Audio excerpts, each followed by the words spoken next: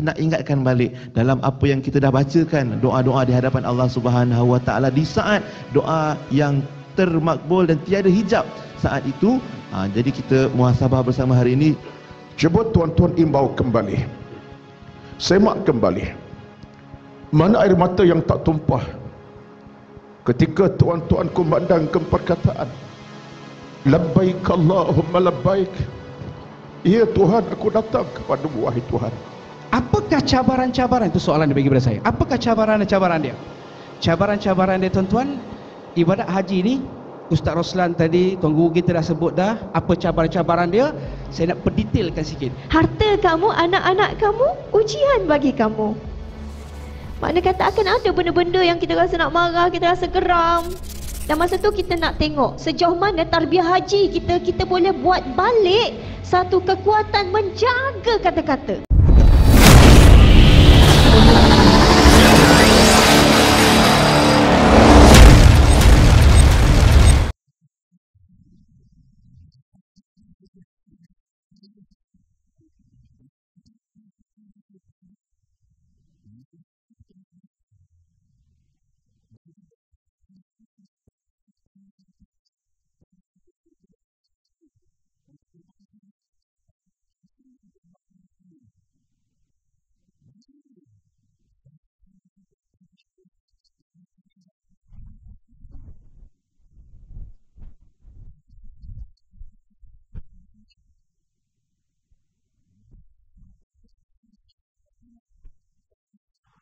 あ!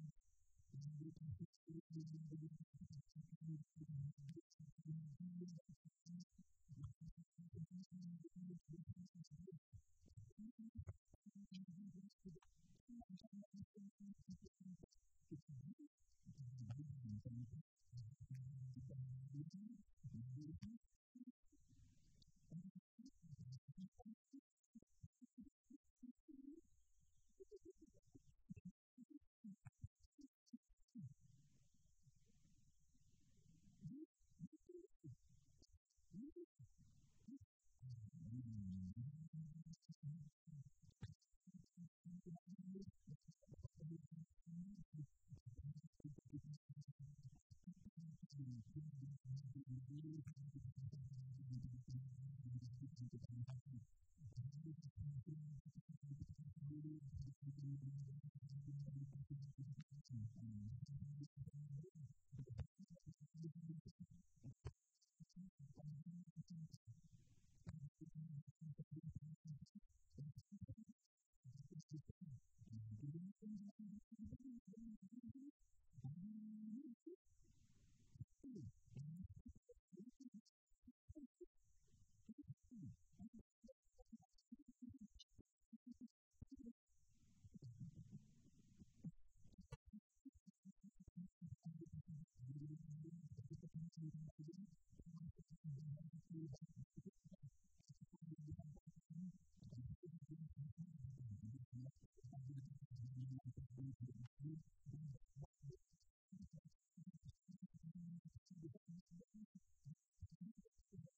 peace and compassion.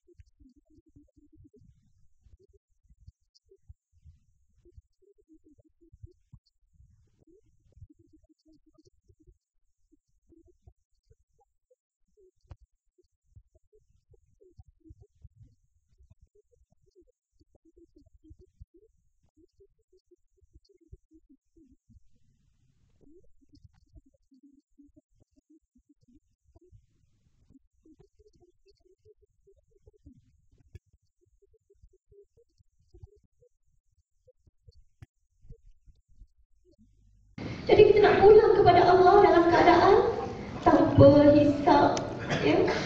Tanpa hisap tu mudah. Ha, saya kata hisap tu mudah. Tanpa asap, tak nak asap sikit pun sentuh kita. Pulang macam orang yang bersih tak ada hutang.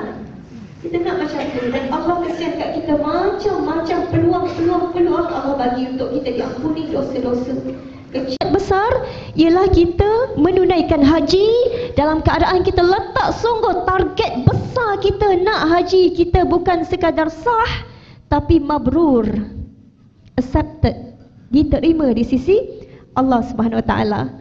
Jadi nak boleh sampai ke peringkat mabrur sebelum balik jumpa Allah ni dia ada prosesnya.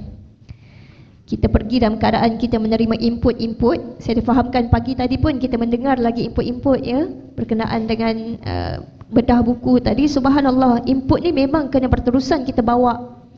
Wa tazawwadu fa inna khairaz zadi taqwa. Sebab kita nak buat persiapan yang boleh membekaskan takwa. Jadi input tu kena berterusan.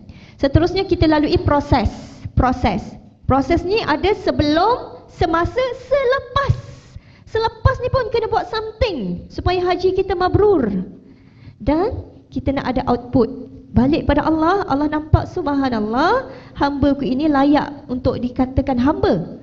Allah panggil dengan panggilan, wahai jiwa yang ter pulanglah pulanglah kepada Allah dalam keadaan redha. Ya kamu redha pada Allah Allah pun redha kepada kamu. Masuklah di kalangan hamba-Ku masuklah ke syurga-Ku ini target kita nak mencapai mabrur. Wallahu taala alam Terima kasih Ustaz untuk mukadimah kita sebentar tadi mengajak kita ingat kembali aa, kenapa kita ke tanah suci baru-baru ni, apa yang kita nak cari dan kalau dikatakan ganjaran mabrurnya haji seseorang itu adalah jannah, maknanya ha- itu harus menjadi matlamat kita ya Ustaz ya. Dah ada matlamat, maknanya jalannya itu kita kena tempuh dengan sebagai calon-calon syurga lah. Dan kalau Ustazah Orang yang mabrur hajinya ini ibarat dosanya diampunkan seperti bayi yang baru lahir. Patutnya hari ini kalaulah boleh berbau bayi, bau baby dah semua pagi ni. Hmm, bau baby wanginya macam tu.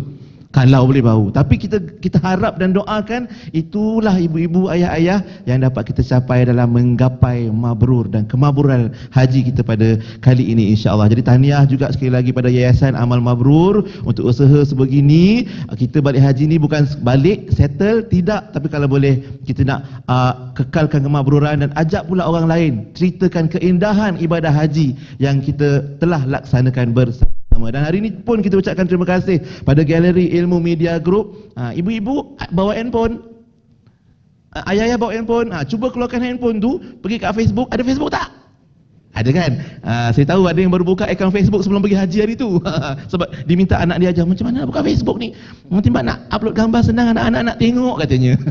kan? Ha, cuba buka Facebook, pergi ke Facebook page Galeri Ilmu Media Group Bukan apa sebab hari ni kita kat sini dalam seribu orang Ustaz Ustaz saya yang pergi haji ada 30 ribu lebih orang dan masing-masing ada grup WhatsApp kan. Cuba pergi kat page uh, yang live Facebook tu, uh, share tu copy link tu ataupun share uh, video live kita hari ni sebab ada live juga ke grup WhatsApp masing-masing, grup family masing-masing bagi tahu aku kat sini senang oi datang program alumni ni ha. Bagi kawan-kawan lain pun dapat juga ilmu yang diperoleh daripada para asatizah kita yang bersama kita hari ini. Boleh? Ha, gambar selfie dah banyak dah kan. ha, itu uh, itu share juga bagi tahu kita berada dalam majlis yang sangat indah pada hari ini dan macam mana kalau kita digambarkan uh, sebelum ni pergi kursus haji lepas tu alhamdulillah dah tunaikan haji sekarang dah pulang ke tanah air adakah sama keadaan kita adakah sama PL kita ni sebelum pergi haji Masa haji macam mana agaknya? Mungkin baik adanya. Lepas haji ni yang kita nak tengok balik dan muhasabah. Adakah sama je? Tak ada apa-apa pun? Ha, Waliyazubillah mungkin ada yang kata sama je macam tak sebelum pergi haji hari tu waliyazubillah. Jadi hari ini kita nak belajar sama-sama Ustaz Ruslan mungkin boleh bagi tahu kita Ustaz macam mana agaknya eh bila kita dah kembali ke tanah air, kembali ke tempat kerja, ke pangkuan keluarga, bagaimana kita nak tunjukkan kemabruran haji? Mungkin nak kena bagi tahu, nama saya Haji Pian. Kena panggil saya Haji. Kalau tak macam tu ataupun sebagai uh, mungkin ada cara lain Ustaz ke, mengekalkan kemabruran. Silakan Ustaz. Terima kasih. السلام عليكم ورحمة الله وبركاته. السلام ورحمة الله وبركاته. الحمد لله وكفى والصلاة والسلام على رسول ذا الحبيب المصطفى صلاة وسلاما على رسول الله صلى الله عليه وسلم. اللهم لك الحمد كما ينبغي لجلال وجهك وعظيم سلطانك. اللهم تقبل منا إنك أنت العليم الحكيم. لا حول ولا قوة إلا بالله العلي العظيم. اللهم رب اشرح لي صدري ويسر لي أمري. واحلل عقدة من لساني يفقه قولي يا رب العالمين. أما بعد.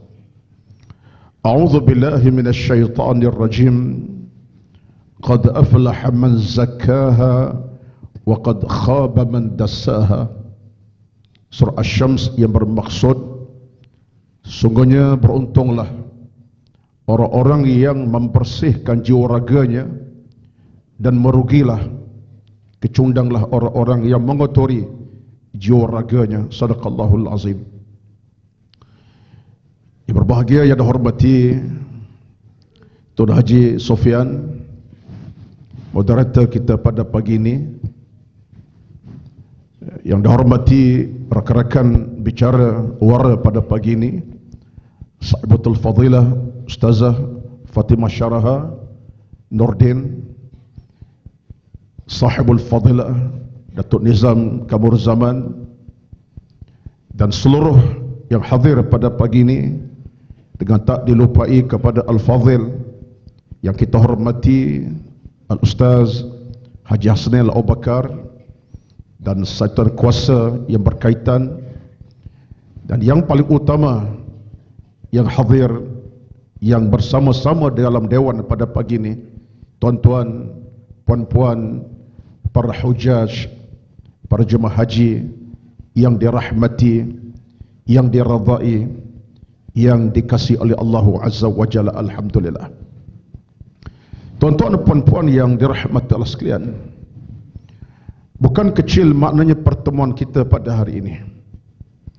Satu pertemuan yang kita anggap sebagai Pertemuan merapatkan hati-hati kita semua. Pertemuan untuk kita cetuskan Rasa bahagia dengan agama rasa indah dengan keimanan. Rasa bahagia dengan amalan. Rasa bahagia dengan ibadat kita kepada Allah Azza wa Jalla. Tuan-tuan puan-puan yang dirahmati Allah sekalian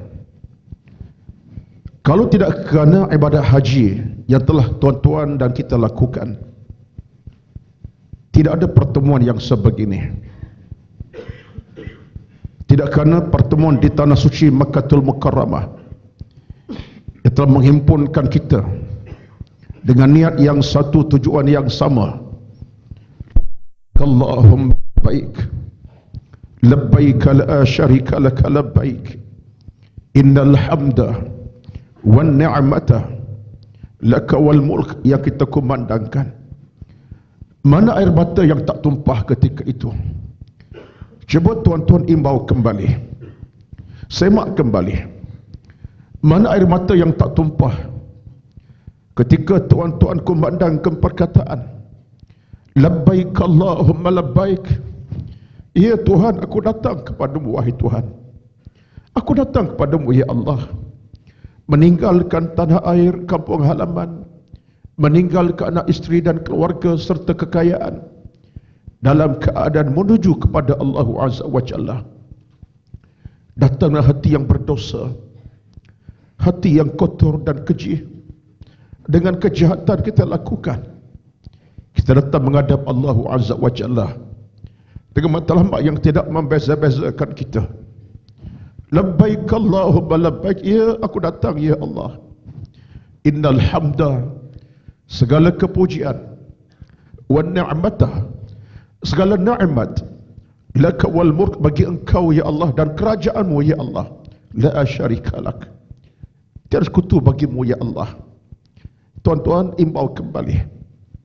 Itulah pengiktirafan kita kepada Allah Azza wa Jalla. Kita manusia yang kerdil yang hina yang lemah. Dalam hidup kita pernah kita lakukan keburukan boleh jadi. Dosa kepada Allah Azza wa Jalla dosa manusia. Seorang suami berdosa dengan isteri yang dicintai. Seorang ayah berdosa anak-anak yang dikasihi. Seorang abang berdosa adik-adik yang dikasihi. Seorang jiran berdosa dengan jiran sebelah rumah kediamannya. Seorang teman berdosa temannya yang lain. Dan kita benar-benar berdosa kepada Allah Azza wa Jalla. Tak ada yang sudah pada kesilapan dosa Nabi bersabda, "Kullu bani Adam khata' wa khairul khata'in at-tawwabun." Semua anak Adam berdosa kata Nabi. Sebaik yang berdosa itu orang yang kembali kepada Allah Azza wa Jalla. Maka tuan-tuan, kehadiran ke Mekah untuk kita beribadat, apa tujuan yang paling utama? Nak bersihkan hati kita. Nak angkat darajah keimanan kita hadir hati yang penuh dengan mungkin segala-gala keburukan. Itulah saatnya kita hadir dalam kelebah terlebih dengan doa dengan munajat perintihan dengan ibadat dan seumpamanya. Tuan-tuan bayangkan kembali. Ini bukan satu perkecil dalam kehidupan beragama kita. Ini adalah terbiah ilahiyah. Ini didikan Allah Azza wa Jalla kepada kita satu kesempurnaan dalam agama. Dan satu rezeki kepada kita. Dalam hidup beragama tuan-tuan kita alhamdulillah rukun Islam yang kita semua imani yakini itu. Bermula dengan kita bersyahadah kita bersolat kita berpuasa kita berzakat melengkap rukun Islam kita ialah dengan kita tunaikan ibadah haji sesuai dengan sabdaan Nabi sallallahu alaihi wasallam bunyal islamu ala khamsin. Syahadati alla ilaha illallah sampai penghujungnya wa hajjil baiti dan tunaikan ibadah haji kepada Allah azza wa jalla. Demi Allah tuan-tuan mereka yang dapat sempurnakan haji adalah orang-orang yang terpilih dipilih oleh Allah azza wa jalla sebab itulah orang ke Mekah dikatakan sebagai apa? Dhuyufur Rahman. Tetamu, tetamu Allah Tuhan yang Maha Pemurah. Tetamu Allah Azza wa Jalla. Sebab apa? Sebab Allah rindukan kepada kita. Yang berdosa Allah nak ampunkan. Yang buruk hati Allah bersihkan. Yang ada kesalahan Allah nak bersihkan. Itulah Allah Azza wa Jalla. Tuan-tuan dan puan-puan. Alhamdulillah. Selama kita di Makkatul Mukarrabah Tuan-tuan hadir dengan hati penuh keikhlasan dengan talbiyah, dengan doa, zikir, munajat dan kemuncak di padang Arafah kita telah membumikan dosa-dosa kita. Kita telah tanamkan dosa di padang Arafah dengan istighfarnya, air matanya, tangan diangkatnya, penuh ketakkulan dan kesyukuran. Bayangkan tuan-tuan, siapa yang tak menangis di padang Arafah, yang tak berdoa di padang Arafah, tak berdoa di padang Arafah, siapa yang tak bermunajat berdoa di padang Arafah? Ada yang berteriak, ada yang menangis tak henti-henti, meratap pun ada.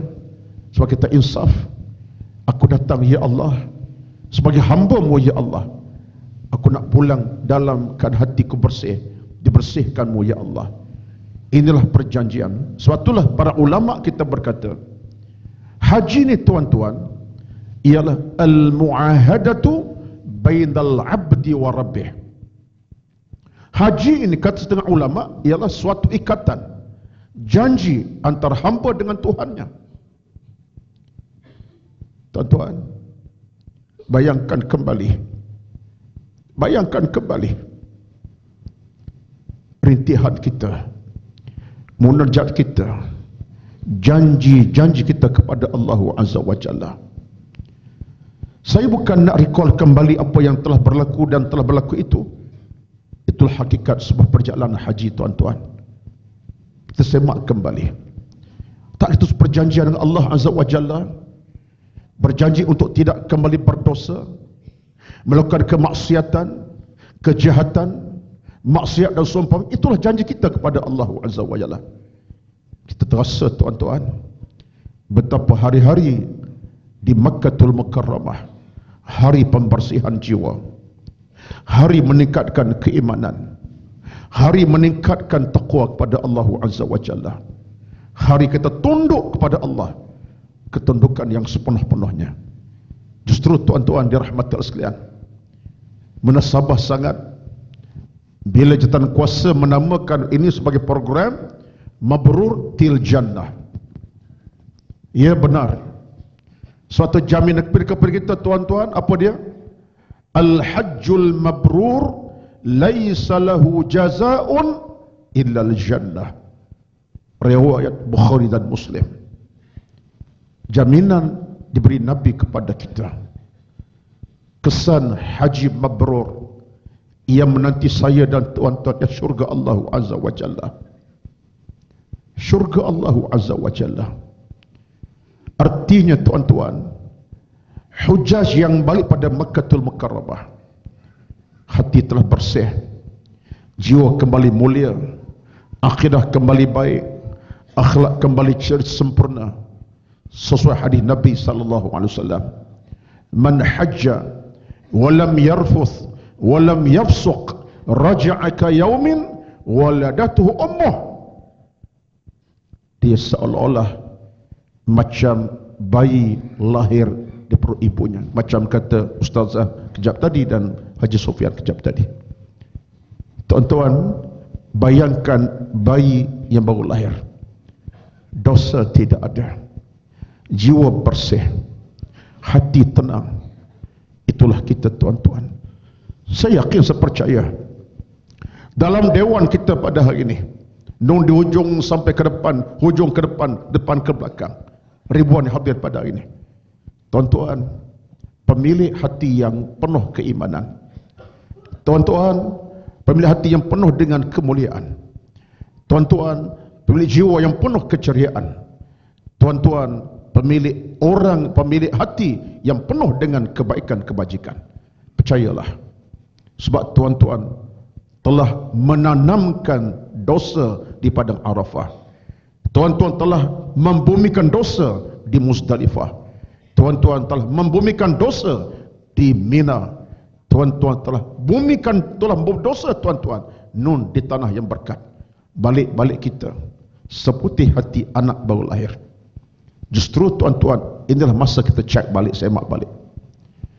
Kalau kita masih dalam keadaan akhlak masih tak keruan. Sifat akhlak masih tak berapa nak betul tiun dan alignmentnya sedangkan haji telah selesai. Bermakna kita berdusta kepada Allah Azza wa Jalla. Air mata tumpah di padang Arafah. Dari saat kita wukuf sampai selesai wukuf. Air mata tumpah di Muzdalifah ketika bermabit.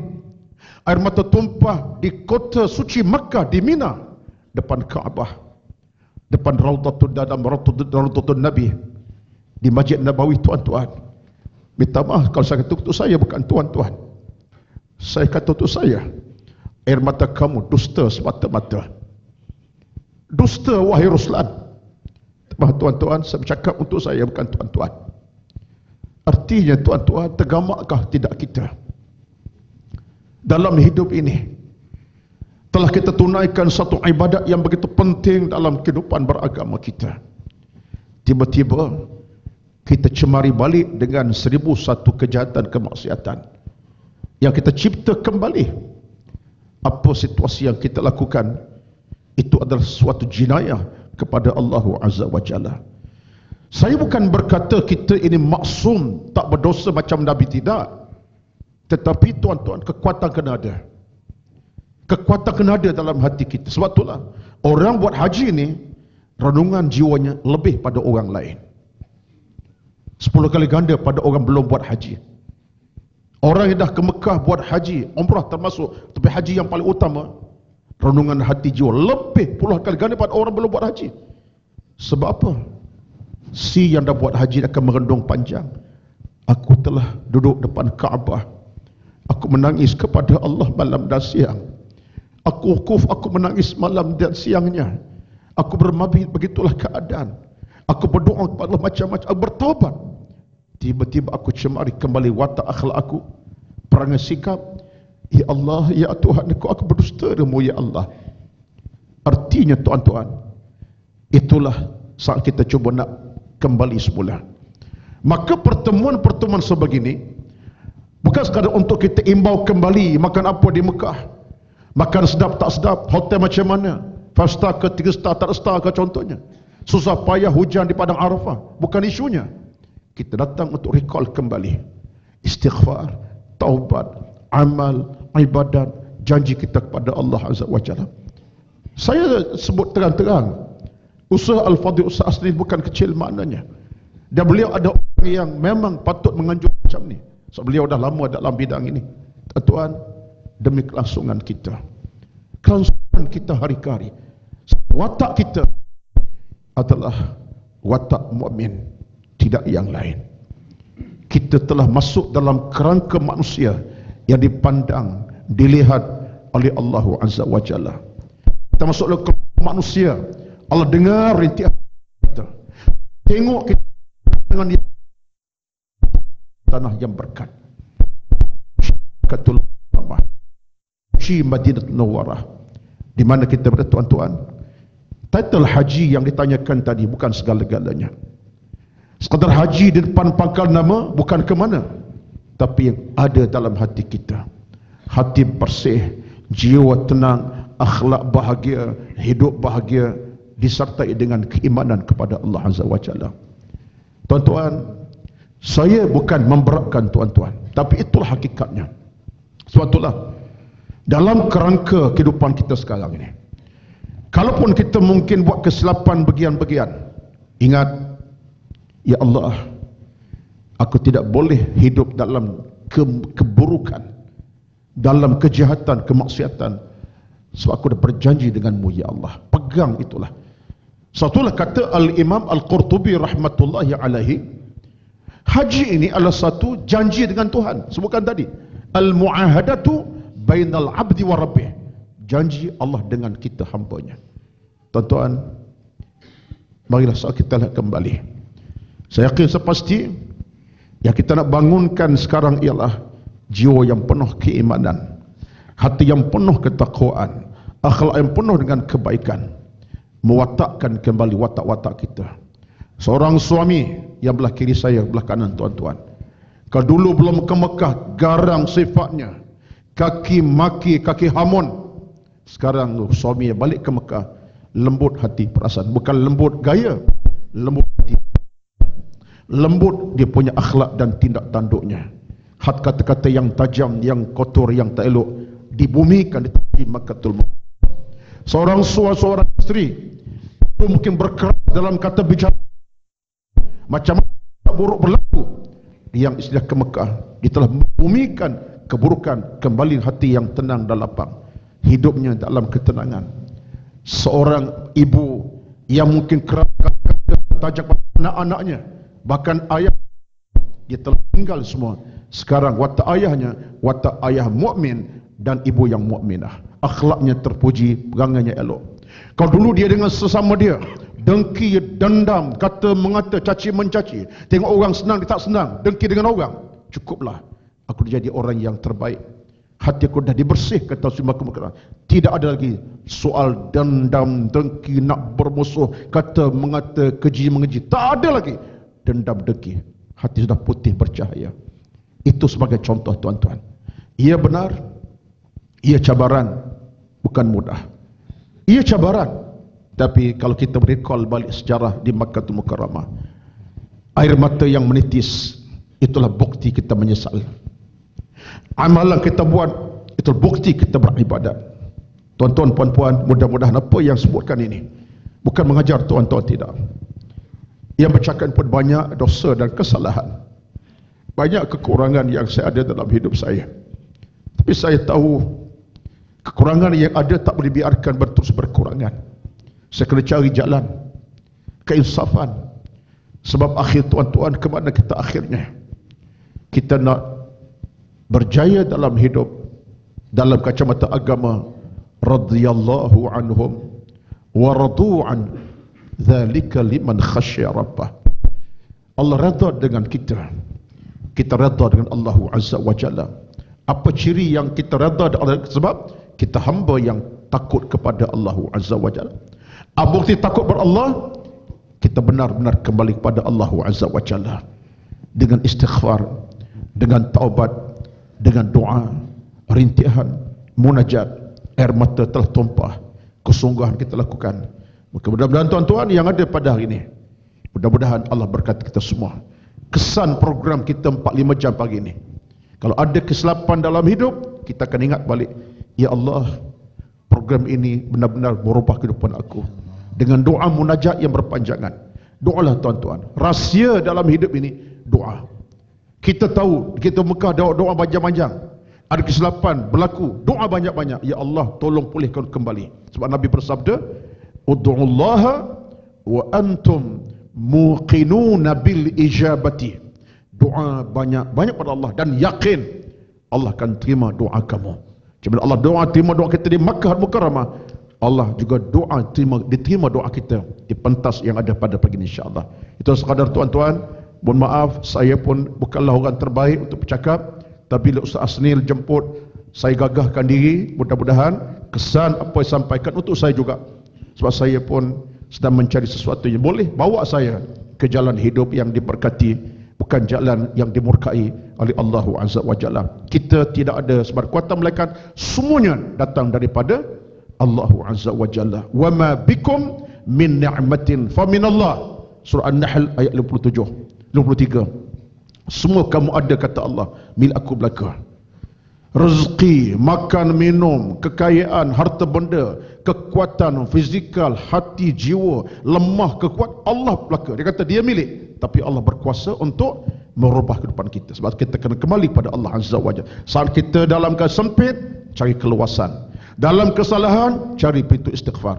Mudah-mudahan Allah berkati seluruhnya yang hadir pada ini terutama kepada Ustaz Asnil dan pengurusan program dan kami-kami di pentas ini insya-Allah. Kita sama saja tuan-tuan, tak ada beza melainkan yang membezakan saya dan tuan-tuan satu saja. Inna akramakum indallahi atqakum. Yang paling mulia antara kamu siapa yang paling bertakwa kepada Allah Azza wa Jalla. Wallahu alam. Wassalamualaikum warahmatullahi wabarakatuh. Waalaikumsalam warahmatullahi wabarakatuh. Terima kasih Ustaz Roslan atas uh, muhasabah. Kalau Ustaz rasa macam tu perlu apatah lagi kami ini sebenarnya yang sangat-sangat rasa banyak sangat dosa yang tak, tak, tak tertanggung dan kita berharap moga-moga Allah ampunkan dosa kita. Juga asbab untuk kita hadir pada hari ini untuk majlis uh, temu mesra alumni haji yang membawakan tema. Terima kasih Ustaz ingatkan juga tema kita Mabrur Til Jannah. Alah.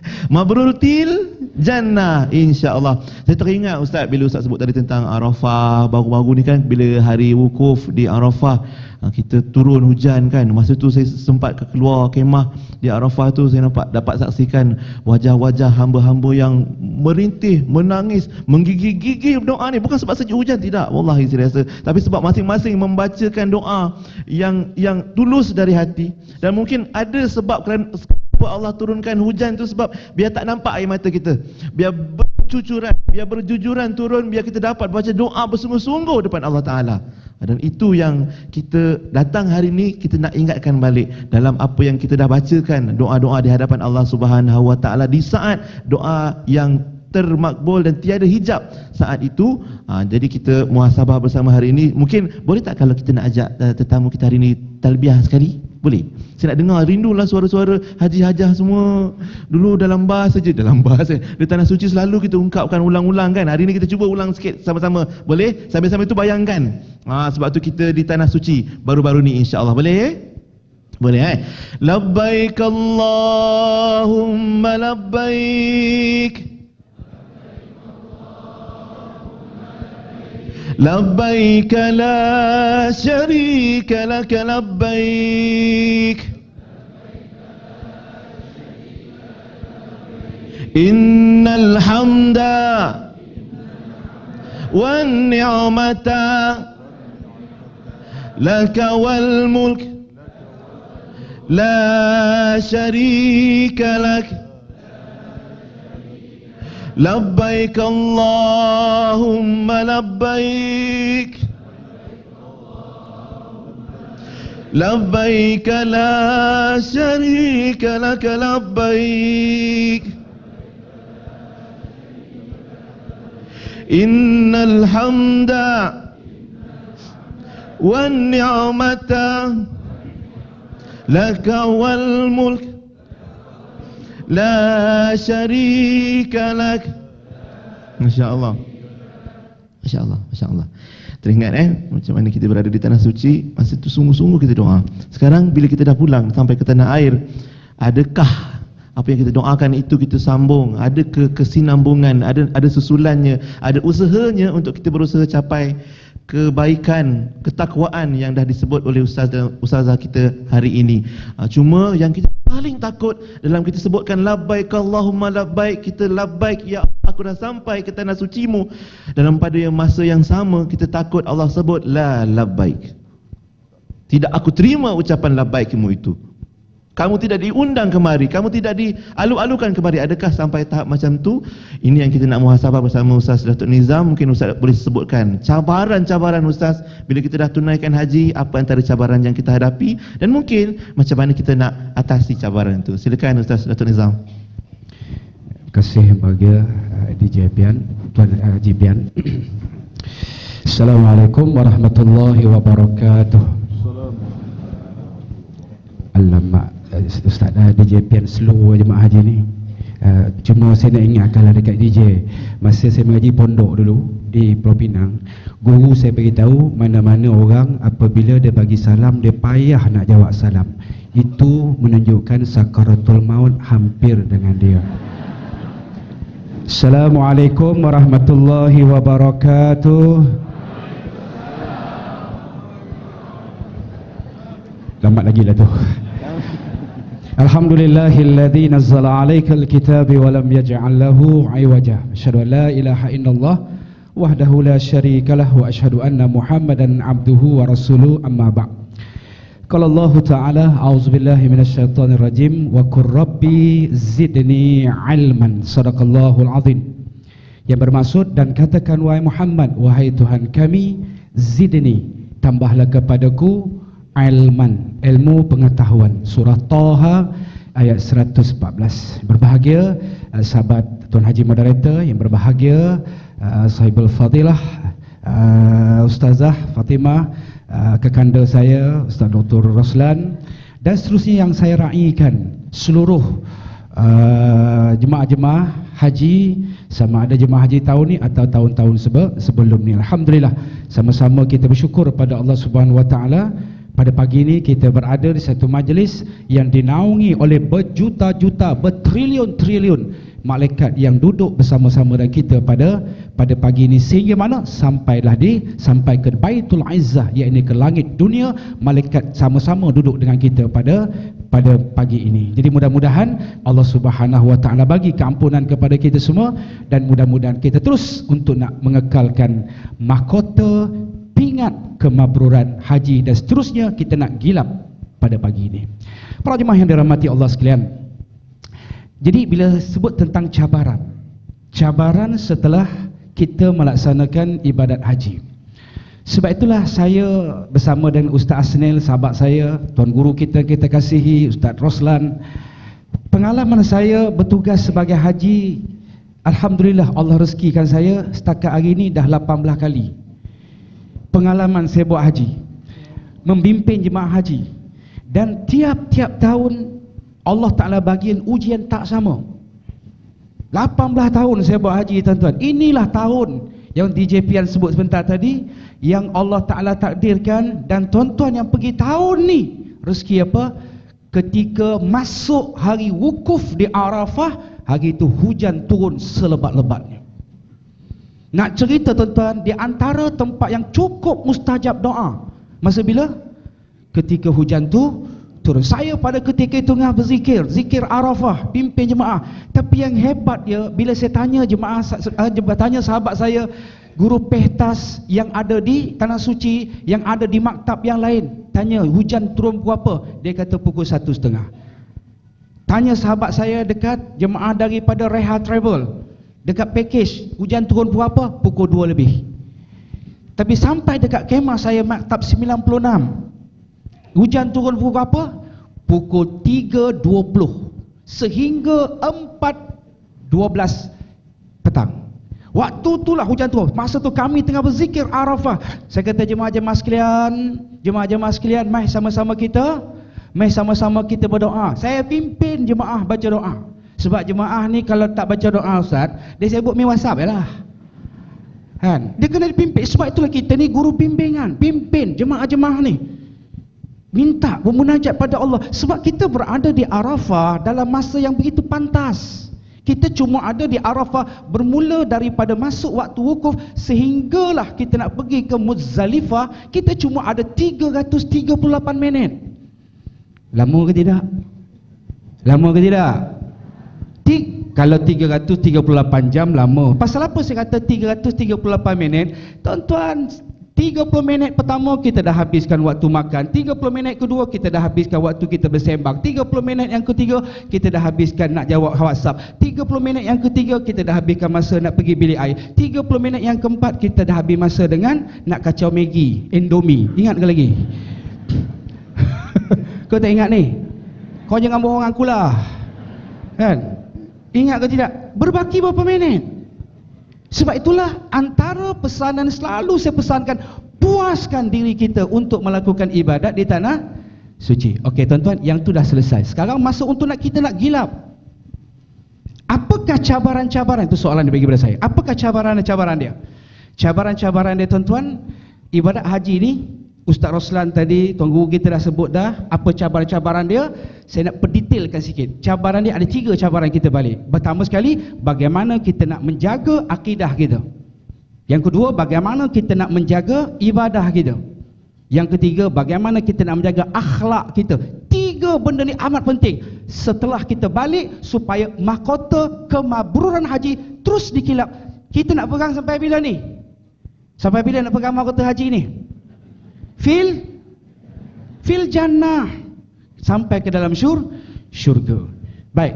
Baguslah DJ Pian tadi alhamdulillah kita kita bangkit ke semangat balik dengan sebut talbih talbih yang ni kita kita kita kumandangkan. Kalau jemaah-jemaah yang buat haji ifrat lagi lama dia betal talbiyah. Allahu akbar. Labbaik Allahumma labbaik labbaik la syarika laka labbaik tuan-tuan para haji para haji sekalian tuan-tuan tahu tak mana labbaika apa maksud labbaika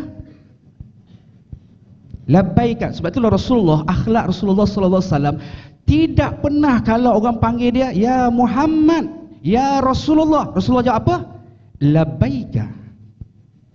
Kalau perempuan panggil, Ya Rasulullah, labbaiki. Rasulullah tak pernah sebut. Ya, tak pernah. Kan? Tuan Haji, Tuan Haji panggil Hajah, panggil siapa? Yang, betul. Satu persen. Manja, 0.5 persen. Yang panggil lah. Yang paling banyak, mak kau. Ke nenek kau. Berapa ramai panggil? Woi. Ah itu kita. Baik. Berapa ramai yang panggil? Dia kata kita panggil yang Ajah jawab apa? Ya bang. Itu biar biasa. Kita panggil yang yang mana dia dalam jam? Jam jamban lah tu. Dalam jamban mana boleh jawab? Kan? Yang berapa ramai jawab labaikah? Ada jawab tak? Haram ku ada. Okey kak. Haji. Hajah panggil Haji. Bang. Haji apa? Ya, jangan nak pembohong lah. Ha. Tambah orang lelaki. Orang lelaki ni orang perempuan, kota orang lelaki di rumah habis. Orang perempuan, orang lelaki ni kota di rumah, kota dia, dia banyak habis di pejabat dah. Orang perempuan kota dia banyak di rumah lagi. Kan? Hmm. Kan? Okey. Berapa ramai panggil? Bang. Ya. Sikitlah. Kan? Bang. Ha, itu mungkin malam Jumaat lah kot. Ada tak panggil? Bang. Labaiki. Ada tak? Maksud labaiki ni labaika. Aku datang kerana-Mu ya Allah. Makna dia semua benda aku serahkan kepadamu ya Allah. Aku dapat teman sebilik macam mana aku serah padamu ya Allah. Aku apa yang Allah nak tu nak, nak uji aku di Arafah terpulang padamu ya Allah. Aku nak sampai di Muzdalifah macam mana terpulang padamu ya Allah. Aku serah semua galanya kepada kepadamu ya Allah. Ya Allah itu maksud labaika. Macam akak panggil, haji panggil yang isteri jawab labaikai. Labaika Labaika maksudnya Ya bang Abang nak apa bang? Nak teh tarik Nak teh lambung. Saya everything I buat semua yang. Itu maksud labaika Semua benda aku sanggupkan. Jadi makna tuan-tuan Kita duduk di Arafah Kita duduk di Mekah Sepanjang kita berada di Mekah Segala pergantungan kita Hanya kepada Allah. Yang ni betul-betul kita nak jaga Akidah kita. Benda yang cukup mahal tuan-tuan Akidah ni satu benda, iman ni satu benda yang tak boleh diwarisi, tak boleh nak dipusakai. Sebab itulah kumpul rayahan selalu sebutkan iman tak dapat diwarisi. Kemudian selalu sebut itu dari seorang ayah yang bertakwa. Boleh tahan juga suara saya ni tuan. Menyampah betul kita tengok ustaz ni. Tuan-tuan nak ceritakan benda tak boleh diwarisi. Sebab itulah iman ni cukup mahal. Ustaz Rasulullah sebut tadi, bagaimana untuk kita nak terus nak jadikan iman kita ni iman yang kuat. Sebab apa? Iman ni dia akan mengalami pasang pasang proses untuk reformasi iman ni apa dia? Antaranya kita berada di dalam majlis ilmu jadidu imanakum yang kedua bila ilaha ha illallah memperbanyakkan sebut kalimah tahlil la ilaha ha illallah itu yang pertama nak jaga akidah. Yang kedua nak jaga ibadah. Jaga ibadah. Tuan-tuan, kita duduk di Madinah berapa hari? 6 hari. Tak apalah kita ambil average 8 hari lah. Ada 6 ada 8 hari kan? Saya tak kisah 6 hari 8 hari ke. Betul ke tuan-tuan duduk 8 hari ni? Betul ke 8 hari? Tuan-tuan. Sebab tuan-tuan satu hari, tuan-tuan duduk di Masjid Nabawi berapa jam? Satu hari berapa jam duduk Masjid Nabawi? Ingat balik? Empat, ambillah empat jam. Empat jam lagi kita ambil. Okey, empat jam kita duduk Masjid Nabawi. Okey, lapan hari, lapan kali empat berapa? Lapan kali empat berapa? Tiga puluh dua. Tiga puluh dua bahagi dengan berapa? Dua puluh empat jam. Berapa? 1.33 1.33 kali dengan kelebihan semayang di Masjid Nabawi berapa? 1000 kali Ganda kali dengan seribu berapa? Belajar matematik lagi ni. Kalkulator tak bawa Ustaz? Tak kata bawa. Tu dekat. Hand- kau ni pembohong banyak sangat lah. Dekat dekat dekat Handphone tu handphone ada. kau tu kan ada. Bermakna 1333 hari tuan-tuan berada di Madinah. Subhanallah. Itu di Madinah calculation paling kurang. Cuba tuan-tuan kira pula di Mekah duduk Mekah berapa hari? Tolak Arafah Mina. 32 hari kalau pergi 40 hari 32 hari kali pula dengan satu hari ambil 4 jam kali pula dengan 100 ribu kali pula dengan bahagi pula dengan 24 jam kali pula dengan 100 ribu berapa? Tercabut kalkulator kita? Kan? Tak silap kalau kalkulator keluar E terus. E makna dia apa? E itu makna dia mampu fikir hang hang kira sendirilah.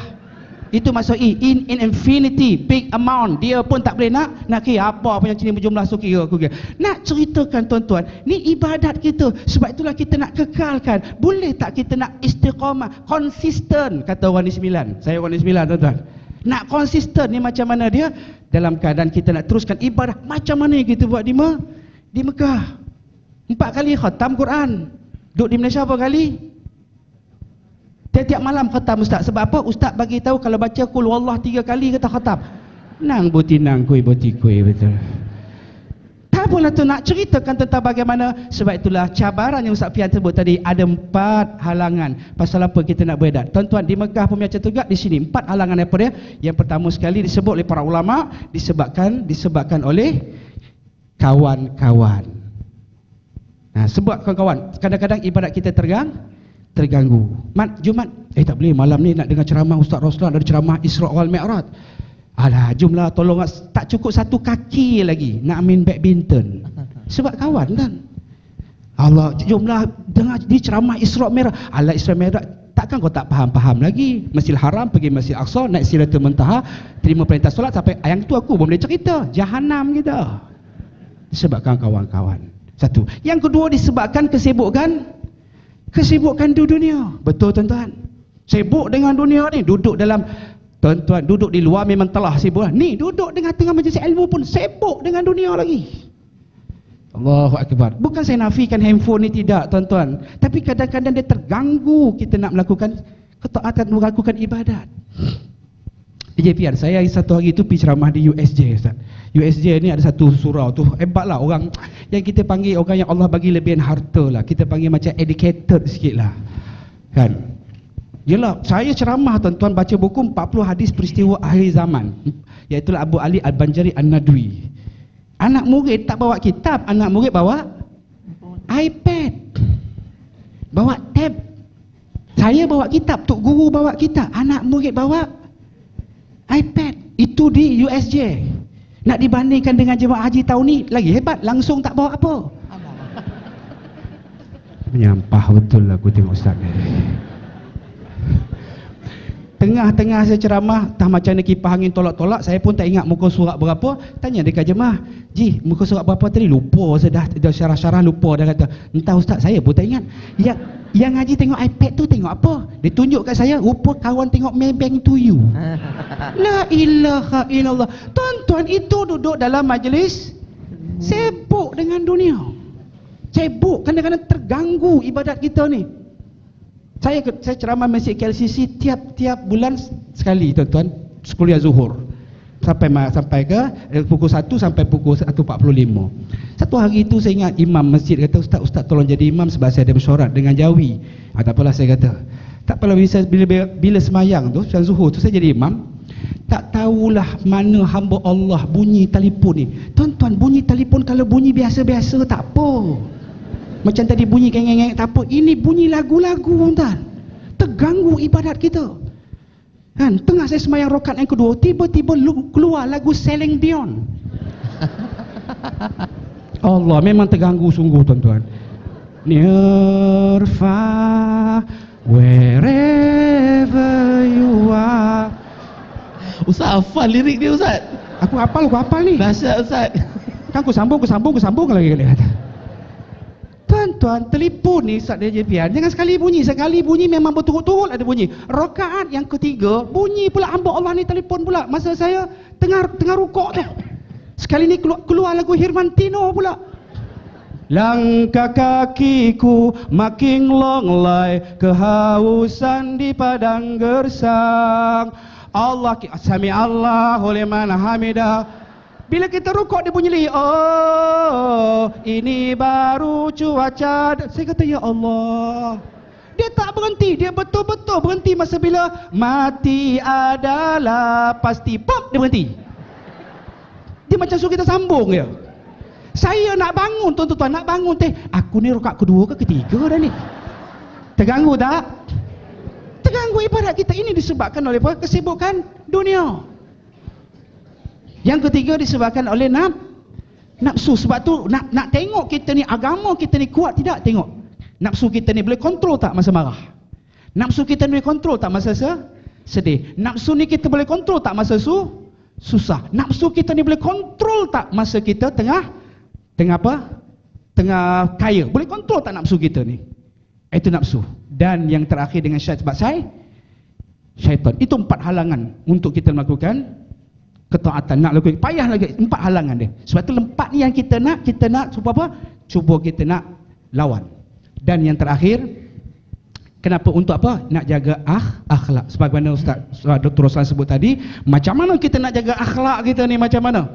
tuan-tuan nak jaga akhlak yang disebut sebelum kita pergi haji rafas fusuk jidal makna dia bagaimana ucapan kita perkataan kita perkataan kita ni ada tak peracaan yang unsur lucah? Nak hantar whatsapp dekat ada tak unsur-unsur ni gambar-gambar yang kita hantar? Macam mana akhlak kita? Akhlak kita keluar daripada ibadat keluar daripada ibadat ibadat haji kita ni. Macam mana kita nak kontrol dia? Insyaallah macam mana kita nak jaga akhlak kita macam mana tuan-tuan? Insyaallah pada pusing kadang-kadang saya akan ceritakan sikit macam mana kita nak jaga nak jaga akhlak. Okey? Okey DJ Fian daun selasih daun mengkudu. Terima kasih. Thank you. Alhamdulillah. Terima kasih ustaz Datuk Nizam. Ah, sangat hebat ceritanya mengimbau kenangannya ada. Keluar lagu-lagu pun ada. Ustaz dahsyat ustaz. Ringtone tu punya berkesan sampai imam hafal eh lagu tu. Dahsyat Ustaz. Uh, nasib baik ingat dah ada berapa Ustaz ya. Alhamdulillah ibu-ibu ayah-ayah uh, dapatlah sedikit jentikkan uh, semangat kita untuk kembali memperbaiki kehidupan kita dan menggilap kemabruran kita insya-Allah. Dan lepas ni biar semangat lagi bertambah. Baik, kita nak masuk ke pusingan kedua. Kita ada 50 pusingan. Boleh ke? Serius lah ni. Ui dahsyatnya. Korang duduklah kita orang balik. tak boleh lama-lama pun. Tak, tak lama jangan risau. Yang penting kita dapat uh, kalau boleh catat catat. Uh, jangan disimpan aja lepas ni. Kalau yang tengah tengok live Facebook dekat Galeri Ilmu Media Group ni, dekat Facebook Media uh, Galeri Ilmu ni, uh, kalau nak tulis kat situ kat komen bawah tu pun boleh. Apa yang kita peroleh, poin-poin yang kita dapat daripada para asatizah kita ni, uh, biar ramai lagi dapat uh, share ilmu tersebut. Boleh eh insya-Allah. Dan kita nak masuk ke pusingan kedua dan saya tak ingatlah tadi kita cerita tentang dekat Arafah hujan Ustazah. Dekat Mina pun hujan juga. Woi kat Mina masa hujan tu lagi lah saya nampak. Ada yang kejar Kejar selipar. Selipar bawa lari air. Air mengalir dekat kemah tu kan. Kejar selipar-selipar aku. Ha, Nak kata ada juga pasangan romantik ni Suami dia yang tolong kejar kan. Selipar isteri. Kalau tak kaki ayam. Susah pula kan dan bila cerita di Mina ni Ustaz ya, Datuk ya, ada juga kes kadang-kadang depan kemah tu tiba-tiba terpacul. Hajah pakai telekung. Lepas tu nanti adalah orang dalam kemah tanya, nak cari siapa? Cik Ishak. Waktu mulalah bila uh, Ustaz Hajah tu bagi tahu dekat kawan dalam kemah kat depan pintu tu sebab saya jaga saya duduk depan pintu. Jagalah penjaga pintu. Nanti kita bagi tahu, Haji Ishak, Haji. Nanti satu kemah panggil, Haji Ishak, Hajahnya panggil. Nak kata subhanallah. Uh, lepas tu dekat hotel pula ada dekat hotel saya ibu dan ayah saya dekat Janadria uh, di hotel di belakang Makla sebelah Makla tu. Uh, jadi sempatlah saya ziarah mak ayah saya. Sambil-sambil ziarah tu sempat juga saya tengok ada pasangan-pasangan romantik. Depan bilik hotel ni ada ada meja ada, ada kursi ustaz Ha, sarapan sama-sama. Romantik uh, sarapan. Makan tengah hari sama-sama. Kalau nampak suaminya belum keluar tu dia ketuk pintu. Tek tek. Abang dah makan? Dia tanya suaminya dah makan ke belum? Romantik ustazah. Nak kata kat sana subhanallah banyak peluang masa tu diluangkan bersama-sama. Ada yang datang bersama keluarga ada tak? Yang pergi haji baru ni mak ayah ada. Ayah ayah ada. Apa bunyi ni sembilan ni ustaz? Jangkit Eh, uh, anaknya pun dapat ikut sekali subhanallah. Ini lambang keluarga bahagia barakahnya tu sampai ke tanah suci Allah jemput keluarga tersebut. Cuma ustazah, mungkin ustazah boleh kongsi dengan kita bila cerita tentang mabrur ustazah, macam mana pula eh? Mabrur itu diterjemahkan dalam keluarga kita pula di tanah air. Ustazah, silakan. Terima kasih DJ Sofian. Seterusnya para asatizah yang saya muliakan, hadirin hadirat yang disayangi Allah sekalian. Jadi soalan ni hebat ya. Sebab kita nak menggilap mabrur, kita selalu nak fikirkan bagaimana tarbiyah yang kita alami, yang kita rasai boleh dibawa masuk ataupun dipraktiskan dalam kehidupan harian, kehidupan berkeluarga, dalam bermasyarakat. Ah, bila kita selalu fikirkan macam mana saya nak bawa balik kesan haji itu kepada kehidupan saya, ini insya-Allah inilah persoalan pemikiran orang-orang yang ada target mabrur. Mudah-mudahan kita semua adalah target tu. Hadirin hadirat yang saya muliakan. Baik. Selalunya kalau anak kita nak periksa esok hari, dia akan baca buku dulu kan? Kalau esok periksa tauhid malam ni, periksa eh, malam ni dia akan baca buku tauhid lah. Sebab dalam buku tu akan ada clue-clue hin-hin untuk jawapan yang dia nak jawab esok. Biasanya macam tu kan? Dan bila kita melihat ayat-ayat tentang haji dalam Al-Quran, ya, ada dalam tu seakan-akan clue-clue, hin-hin tentang apakah kejadian yang bakal kita akan diuji nanti. Ya. Kejadian yang akan memancing kita untuk ha, untuk mungkin berkata kotor, berbuat maksiat, ya, akan berlaku kejadian itu Allah nak uji kita dan nak tengok kita respon bagaimana. Sebelum tu Allah bagi jawapan dah siap-siap ni. Allah bagi dalam surah Al-Baqarah ayat 197 antaranya. Ya. A'udzubillahi minasyaitonirrajim. Al-hajju ashhurum ma'lumat. Musim haji itu adalah ha, kita tahu bulan-bulannya ada bulan yang tertentu. Dan Allah ingatkan dalam ayat tu, ayat tu agak panjang, saya ringkaskan. Fala rafasa. Jangan berkata buruk. Ya, spesifiknya kata-kata yang merangsang berahi. Yang menaikkan syahwat. Ah, jangan berkata buruk. Wala fusuqa. Jangan berbuat maksiat. Wala jidala. Jangan asyik bertengkar. Berbantah-bantah. Dan Allah menguji popular setiap tahun kalau kita tanya pengalaman kepada jemaah yang pergi umrah ataupun haji ya.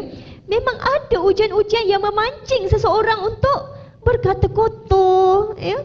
Sebab ya Allah ya Rabbi Allah memang jadikan kehidupan ini adalah ujian. Kehidupan berumah tangga pun Allah dah bagi jawapan siap-siap. Allah kata innama amwalukum wa auladukum fitnah harta kamu, anak-anak kamu ujian bagi kamu. Makna kata akan ada benda-benda yang kita rasa nak marah, kita rasa geram. Dan masa tu kita nak tengok sejauh mana tarbiyah haji kita kita boleh buat balik satu kekuatan menjaga kata-kata, menjaga komunikasi. Tak suka berkata kotor, tak suka buat maksiat, tak suka untuk uh, kita berbantah-bantah, uh, berjidal dalam family kita. Hadirin hadirat ya masa saya pergi ke tanah suci ya antara uh, kejadian popular lah yang ada ujian pada masa tu ya uh, ada budak-budak yang lipat tangan masuk dalam baju. Uh, pernah? Pernah nampak? Uh, dia lipat tangan ramai-ramai budak-budak ni. Lepas tu dia minta derma Ha, yang peliknya kalau polis datang tangan dia tumbuh balik. Oh ya. Ha, tumbuh balik. Saya ingat dia duduk seru-seru sadaka baba sadaka kan. kan? Betul kan? Betul. Biasanya sepanjang Betul jalan kan? nak pergi hotel kan? Ha, Ustaz. Ha, ramai. nak pergi masjid lah. Betul. Masa itu kan mulut kita kita tolong jaga Allah walaupun itu memang kita nampak ya Allah kan. Ujian untuk mulut kita nak caci ke nak maki ke nak kutuk ke tapi tolonglah kita doakan yang baik-baik je. Doa dia dapat hidayah ya doa kebaikan. Kita nak pergi ke raudhah bersesak-sesak orang ni. Ya. Kita tolong doa ya Allah. Uh, orang yang kau telah pilih untuk pergi masuk dulu ke raudhah tu tolong terima doanya, beri kebaikan untuk dia. Praktis hati baik, minda baik, mulut baik. Jangan kita duk marah-marah ni. Marah kat Afrika tu lah, marah kat orang tu. Sebab apa? Besar-besar tolak kita, jatuh kita. Ya, memang memang memancing rasa nak marah, memancing kata-kata buruk. Tapi tolong inilah tarbiyahnya. Allah dah bagi jawapan dah dalam Al-Quran. Yang kita cuma nak nak praktiskan jawapan tu. Nak tuliskan jawapan tu. Nak bagi malaikat catat jawapan tu ada dalam pengamalan kita. Hadirin hadirat. Kita tengok ya dalam kehidupan berumah tangga. Cuba lukiskan satu gambar rumah. Rumah kan? Um, biasanya orang nak buat rumah, pertama sekali dia akan sediakan apa dia? Pelan, persediaan, tapak, besi-besi binaan kan? Allah pun dia nak jemput kita semua um, membuat haji dekat Mekah. Allah buat persiapan kepada kita tu sejak awal lagi. Lahir-lahir saja kita diazankan, diikomatkan.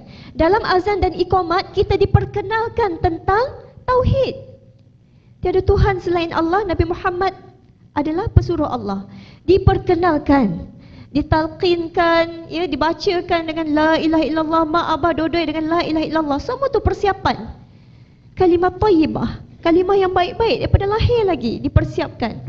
Ya, tapak dulu, asas dulu kita nak pergi ke Mekah ataupun nak pergi ke umrah pun kita akan buat persiapan. Ya, kita akan siapkan dengan ilmu. Kena ada persiapan. Kena ada asas. Lepas tu orang buat rumah lepas ada tapak dia, dia akan bina tiang. Tiang agama apa dia? Solat. Jadi tarbiyah haji yang dalam itu terhimpun macam-macam ibadah, adanya solat, adanya macam-macam ibadah yang kita buat zikrullah, doa dan sebagainya. Kita nak pulang ke rumah kita dalam keadaan kita ada semangat berpasukan dalam diri individu. Selama ni kita solat seorang-seorang. Balik daripada Mekah, kita kalau boleh nak ajak semua orang solat. Bahkan kalau ada baby-baby pun kita dekatkan ke tempat uh, solat tu. Biar semua anak-anak kita kecil ke besar ke semua didekatkan dengan budaya solat ni ibadah solat ni jadi kebiasaan ya jadi keseronokan kerinduan semua orang bahkan Nabi SAW anak baginda Fatimah Zahra dah besar dah kahwin pun dengan Sayyidina Ali masih lagi baginda ingatkan tentang solat. Solat malam. Ini ayah mai kejut lagi ni solat. Nak cerita besarnya tiang solat tu. Allah SWT pun ingatkan wa'mur ahlaka bis-salati wastabir 'alaiha. Ha, bukan Allah suruh kita solat saja. Solat dan kita kena suruh ahli keluarga kita solat dan kena sabar sebab memang macam-macam ragam nanti. Ya, nak praktiskan kata-kata yang baik tu. Nak praktiskan jangan kita sebut kata-kata yang buruk. Kata-kata baik. Sebab tugas kita ajak, ajak, ajak. Dia degil ke, dia lihat ke, bukan tugas kita nak menerakakan dia nak uh, menghukum dia tidak tapi nak doa yang baik-baik. Ha, itu tiangnya. Bukan sekadar solat, rukun-rukun Islam semua tu kita nak tegakkan tiang dalam family kita. Itu semangat daripada tanah suci yang kita bawa pulang. Seterusnya lepas tiang, biasanya dibina apa pula? Dinding kan? Ha, dinding tu boleh sekat daripada binatang ke masuk, daripada benda-benda bahaya perompak ke masuk dinding.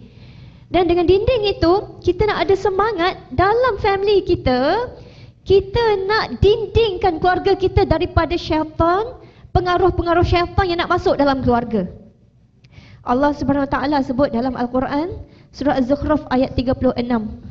A'udzu billahi minasyaitonir rajim. Wa may ya'shu 'an dzikrir rahmani nuqayyid lahu syaitana fahuwa lahu qarin siapa yang nuqayyid nuqayyid ni seakan berpaling dari zikr rahman ingat kepada ar-rahman Allah terus adakan baginya syaitan. Syaitan tu jadi teman setia jadi qarin yang bagi nasihat kepadanya ya. Bagi cadangan-cadangan bagi idea kepadanya syaitan. Jadi kita nak bentengkan family kita ni daripada pengaruh syaitan. Pastikan lagu yang kita dengarkan dalam rumah yang bawa kepada Allah yang tak lupakan family daripada zikr rahman. Sebab kalau lupa saja syaitan datang ya. Kita nak ada suasana tu lepas tu bila dah ada dinding ya biasanya kita akan buat uh, tingkap Ha, tadi dinding dengan sistem pembetungan semua. Ha, kita nak elakkan musuh-musuh tu daripada boleh masuk. Lepas tu kita akan buat rangka tingkap. Ya, ataupun rangka pintu. Maknanya kata kita nak membawa masuk kebaikan daripada luar tu. Oksigen, udara, cahaya tu kan kalau rumah. Sama juga orang yang pergi ke Mekah jadi tetamu Allah, ya dia bukan baik seseorang dia saja, dalam family saja, tidak. Tapi dia ada semangat societal parenting. Ha, dia nak anak-anak dia baik dan anak masyarakat dia semua dapat sentuhan kebaikan. Dapat khidmat dia, jasa dia, nasihat dia. Dia nak macam tu. Dia nak jiran-jiran semua ada manfaat yang dia bagi. Ha, tingkap dengan pintu tu akan membawa masuk kebaikan dalam family. Dan seterusnya, lepas ada tingkap ada pintu, last kali dia pasang beam. Kan? Nak buat rumah kan? Pasang beam, tu ada atapnya kan? Untuk buat siling. Ha, jadi sama juga dalam family kita, kita kena ada atapnya. Um, kena jelas visi dan misi family kita dan sentiasa bernaung di bawah visi dan misi yang sama. Til jannah sampai ke syurga. Dengan cara apa? Ha, tadi ada pagarnya, ada rukun-rukunnya yang ditegakkan. Dan ingatlah hadirin-hadirat yang saya muliakan Allah dah bagi dah tip mudah tip mudah supaya kita dapat lepasi ujian dalam keluarga ya tip itu dekat dengan tip yang tadi kita ditarbiah dekat Mekah supaya kita jaga komunikasi, jaga kata-kata. Allah sebut dalam surah At-Taghabun ayat 14 dan juga 15. Allah kata, A'udzubillahi minasyaitonirrajim. Ya ayyuhallazina amanu inna min azwajikum wa auladukum aduwwan lakum fahdharuhum. Wahai orang yang beriman, sesungguhnya pasangan kamu, anak-anak kamu kadang-kala boleh jadi musuh. Maka berhati-hati dengan mereka. Tapi bila dia buat kita geram, buat sakit hati, jangan kita bermusuh pula dengan mereka. Allah ajarkan sikapnya. Sikapnya apa? Wa ta'fu jika kamu ampuni mereka wa tasfahu kamu santuni mereka kamu tak marah-marah pada mereka wa taghfiru kamu mohon ampun kepada mereka fa innallaha ghafurur rahim sesungguhnya Allah itu maha pengampun maha pengasih. Ha, jadi rupa-rupanya tip dia adalah dengan kata-kata kita banyak ampuni banyak kesian banyak maafkan banyak santuni. Jangan marah-marah. Marah boleh, marah-marah itu buat kita sakit. Keluarga kita pun sakit, kesian Macam minum racun. Ya, kita pun mati, orang yang dengar pun cepat nak mati Seakan gitu. Ya, jadi hadirin hadirat Antara tip paling penting lah yang saya nampak ya Untuk kita bawa pulang Adalah kita pertingkatkan ilmu komunikasi yang baik. Uh, yang ni perlukan seminar satu hari ni. InsyaAllah dalam family. Wallahu ta'ala alam. Baik, terima kasih Ustazah Fatimah untuk perkongsian kita hari ini Saya nampak ibu-ibu hajah-hajah kita ada yang melukis gambar rumah. Ustazah suruh lukis rumah, lukislah rumahnya. Bumbung ni untuk apa, tingkapnya untuk apa, lantainya macam mana? Uh, Dapurnya kat mana? Dapur lukis tak Ustazah? yang penting apapun kita harap daripada apa yang digambarkan itu kan kita duk sebut baiti jannati rumahku syurgaku. Kan kita kata mabrur til jannah mabrur kita ini hingga jannah. Jadi apa-apa saja yang ada ciri-ciri kesyurgaan itulah kita harapkan jalan kita Ustazah ya. Kalau rumah itu boleh jadi asbab untuk kita sekeluarga ke syurga itulah juga kita jadikan kekalkan ciri-ciri tersebut kemabrurannya dan digilap insya-Allah biar satu keluarga masuk syurga Amin ya rabbal alamin. Baik ibu-ibu ayah-ayah sekalian terima kasih juga lah yang menonton di uh, Facebook uh, Galeri Ilmu Media Group hari ini. Eh kita ada Facebook baru eh, buat live baru eh yang kedua. Ah uh, tadi tu kita dah berhenti lepas tu kita sambung eh. Ah uh, bolehlah tengok dan share biar kawan-kawan kita dalam dalam WhatsApp group tu boleh follow perkongsian kita dan biar dia orang rasa jealous kenapa tak datang masjid wilayah hari ini. Alhamdulillah. Baik uh, Ustaz Haji Roslan, kita kita baru di, di tanah suci baru-baru ni pun antara satu yang menarik pandangan mata saya bila lihat di keadaan di kalangan jemaah haji Malaysia ialah hebatnya para petugas, para sukarelawan, sahabat haji eh. Kalau dengan lembaga tabung haji kita ada sahabat haji eh. Lepas tu kalau saya dengan Andalusia, Andalusia ada sukarelawan haji yang membantu. Dia orang ni pun buat haji juga. Kalau petugas mungkin dah diamanahkan dengan tugasan. Yang sukarelawan ni dia pun sama macam jemaah lain. Tapi ditambah lagi ke sukarelawanan nan-nan mereka tu untuk membantu jemaah lain juga menunaikan haji dan ada kalangan mereka ni doktor-doktor profesional. Jadi doktor-doktor bawa ubat. Ada yang bawa ubat nak tolong jemaah-jemaah ni uh, sediakan ubat dan sebagainya. Ada antara mereka yang masih lagi muda sebab kederatnya masih kuat jadi mereka nak tolong jemaah-jemaah di tanah suci ada yang tolong tolak kursi roda bawa pergi klinik jauh jauh jauhnya boleh tahan juga kan. Jadi nak kata orang muda ni sebenarnya kita perlukan uh, untuk ke tanah suci bukanlah untuk tolong orang semata tapi kalau bolehlah tunaikan haji waktu muda lebih baik lagi. Jadi macam mana yang ibu-ibu ayah-ayah kita dah sampai tanah air dah sampai rumah ni kita pun kalau boleh nak galakkan anak-anak daftarlah haji. Pergilah haji di usia muda supaya lebih kuat lagi insya-Allah kita boleh tunaikan sebaiknya insya-Allah. Ustaz mungkin ada tips dan perkongsian? Macam mana kita nak galakkan orang muda tunaikan haji di awal usia ustaz Okey, terima kasih Al-Fadhil Haji Sofyan. Assalamualaikum warahmatullahi wabarakatuh. Assalamualaikum Yang dihormati yang dikasihi rakan-rakan bicara pada hari ini Ustazah Fatimah Syarah, Datuk Nizam dan seluruh kehadiran para jemaah hujaj yang dirahmati Allah sekalian. Tuan-tuan dan puan-puan yang dirahmati Allah sekalian, kalau kita tengok kepada ayat suci Al-Quran tentang kewajipan haji, walillahi 'ala an-nas hajjul baiti man istata'a ilaihi sabila. Sadaqallahul azim. Dalam konteks al-istita'ah, ini agak akademik sikit perbincangannya.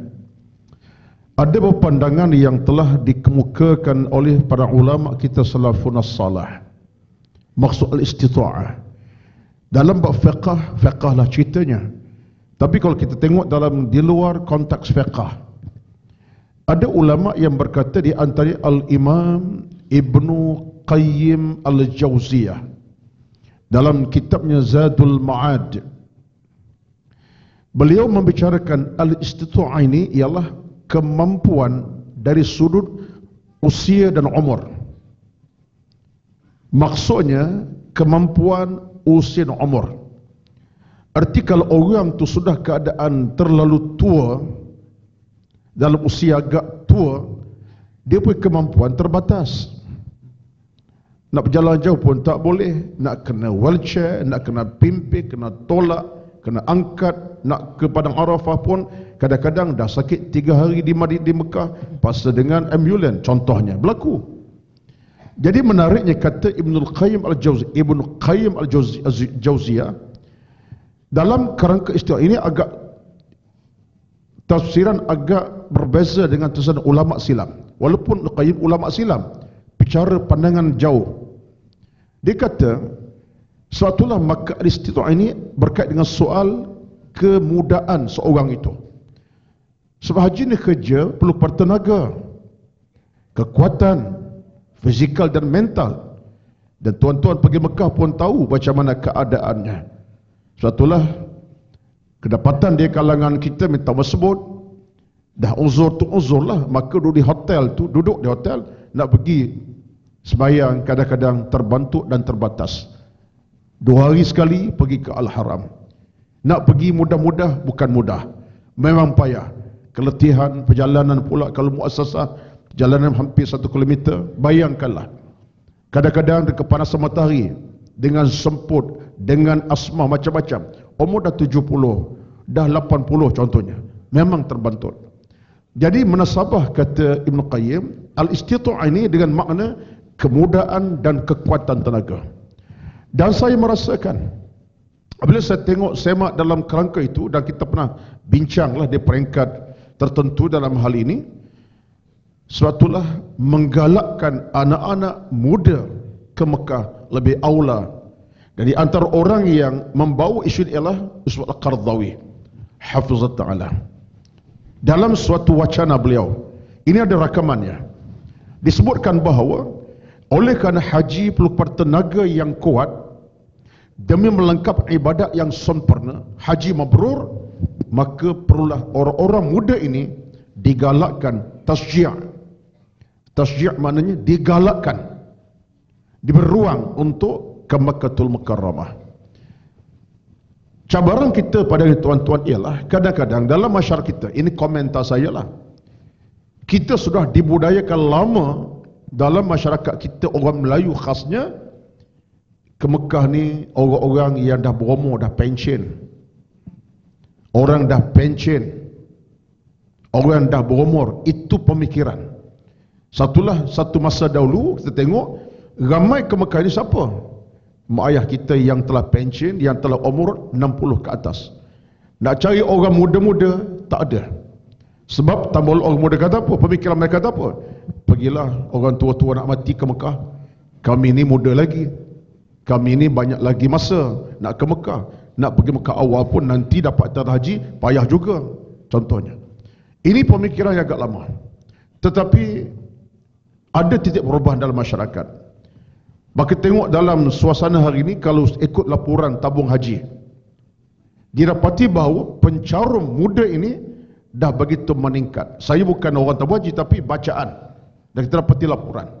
Ini suatu kejayaan yang saya rasa perlu kita sebagai mak ayah pupuk anak-anak kita. Ada kewajarannya.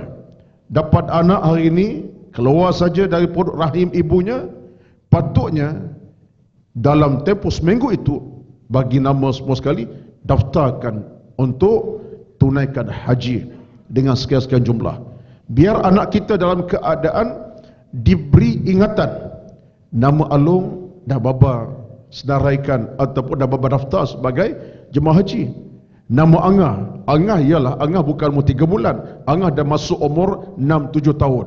Baba daftar ayah daftar dah angah untuk pergi ke Mekah sekian-sekian biar anak kita merasakan Mekah ini bukan tempat orang tua berkumpul tapi orang muda pun datang bersama ini satu di antara saya fikir satu tindakan yang paling terbaik dan kita kena serius Suatu saya berpandangan bahawa dalam situasi ini yang patut menggerakkan ialah siapa? Tuan-tuan. Tuan-tuan sebagai ibu ayah. Kalau tuan-tuan sebagai atuk atau cucu, begitu anak-anak kita.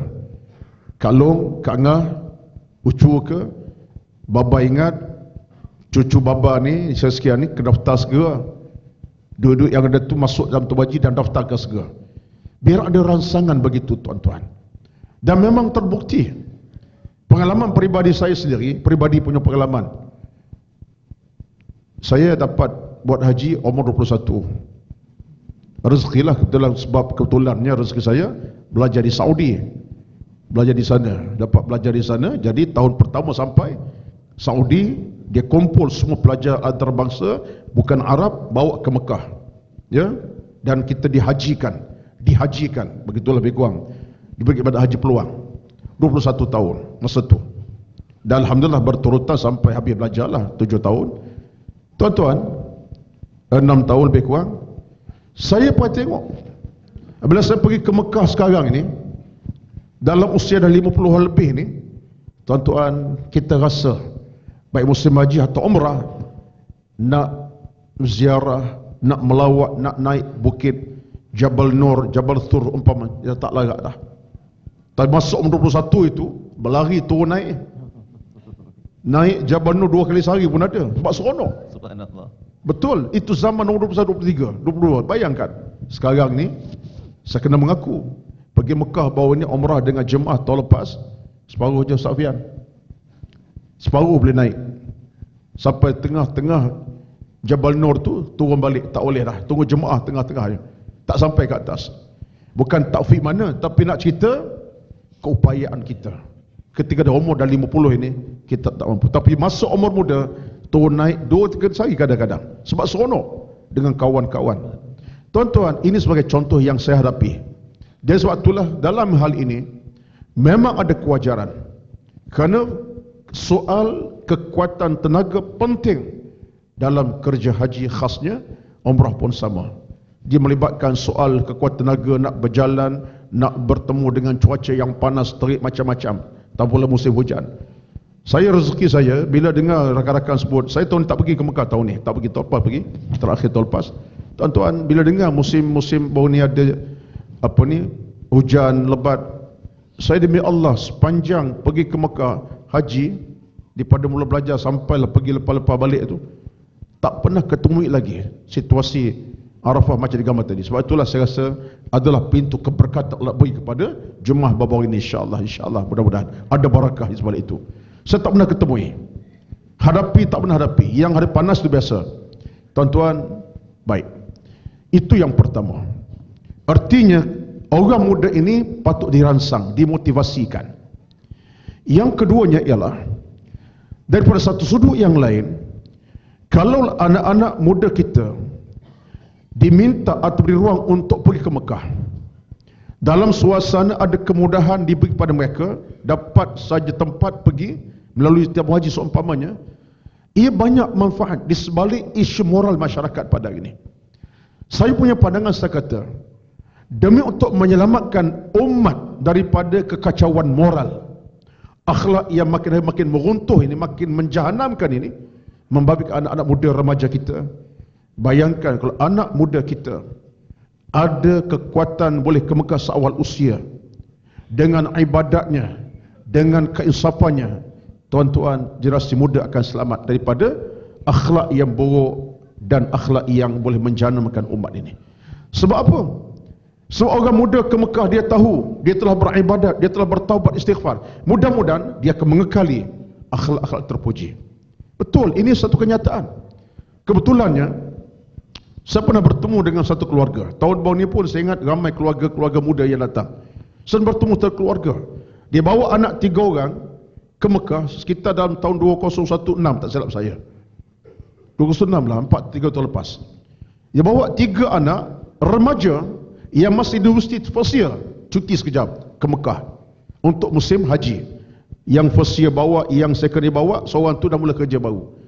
Tuan-tuan, bila saya duduk kebetulan di hotel yang sama hotel yang sama jumpa waktu makan saya tanya macam mana tuan boleh bawa tiga-tiga anak muda ni first year, second year kemudian seorang tu baru kerja baru pergi belajar maknanya dalam usia baru 20 empat yang tu baru 20 yang tu baru 19 tahun saya kata kat dia macam mana tuan boleh gak kata dia anak saya minta untuk segera ke Mekah kalau boleh taja mereka ke Mekah. Sebab apa?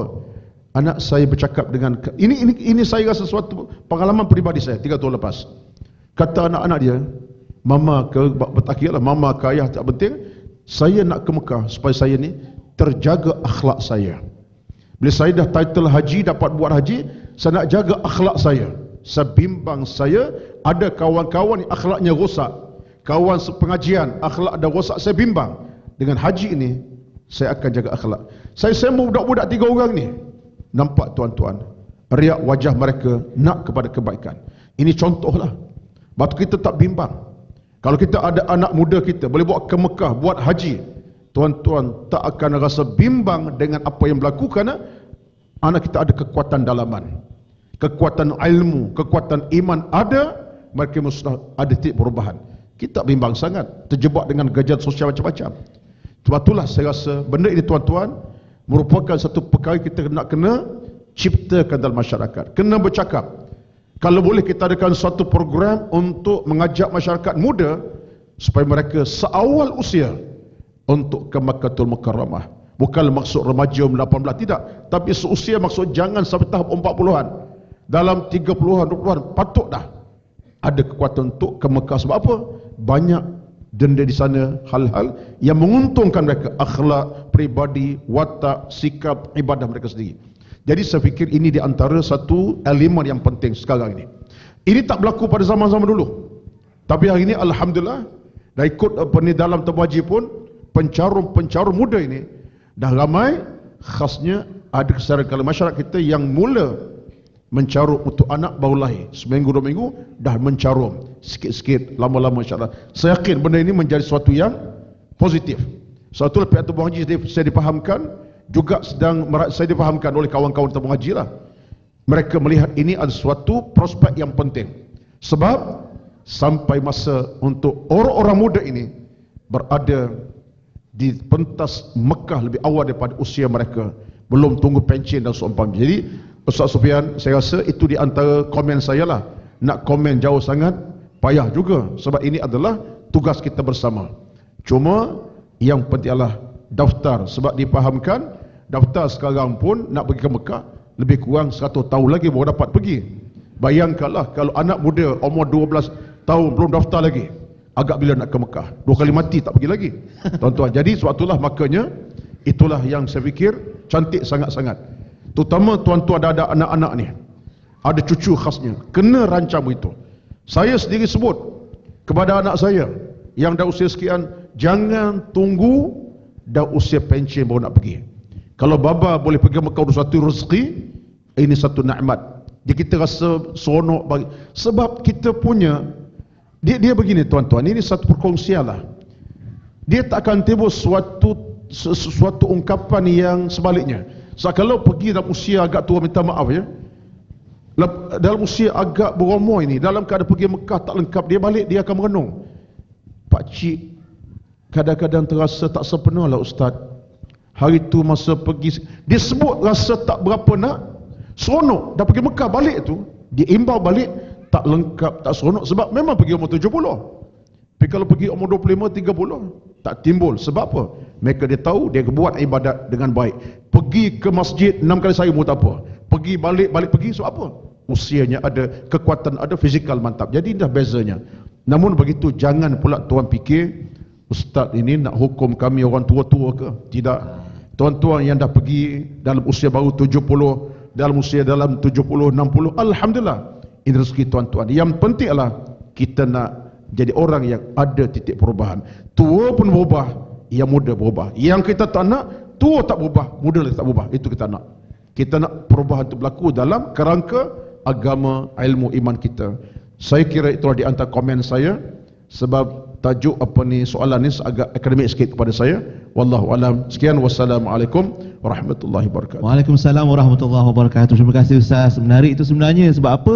Yang datang hari ni pun ke masjid wilayah ni pun ni, nanti balik ni kita-kita lah ni yang nak tolong bagi tahu. Ya ustaznya pada anak-anak cucu-cucu orang muda kita pergilah haji muda-muda. Ah jangan pula cerita Ah, tu panas. Nanti kat Mina ramai orang kat toilet ramai nak tunggu susah. Ceritanya yang susah-susah. Jadi orang takut dengar macam nak pergi haji tak nak ni. Jadi kita dimomokkan dengan cerita itu belum cerita yang baca buku lepas tu kat online baca banyak dosa tak nampak Kaabah. Alahai. Dah susah pula cerita kan.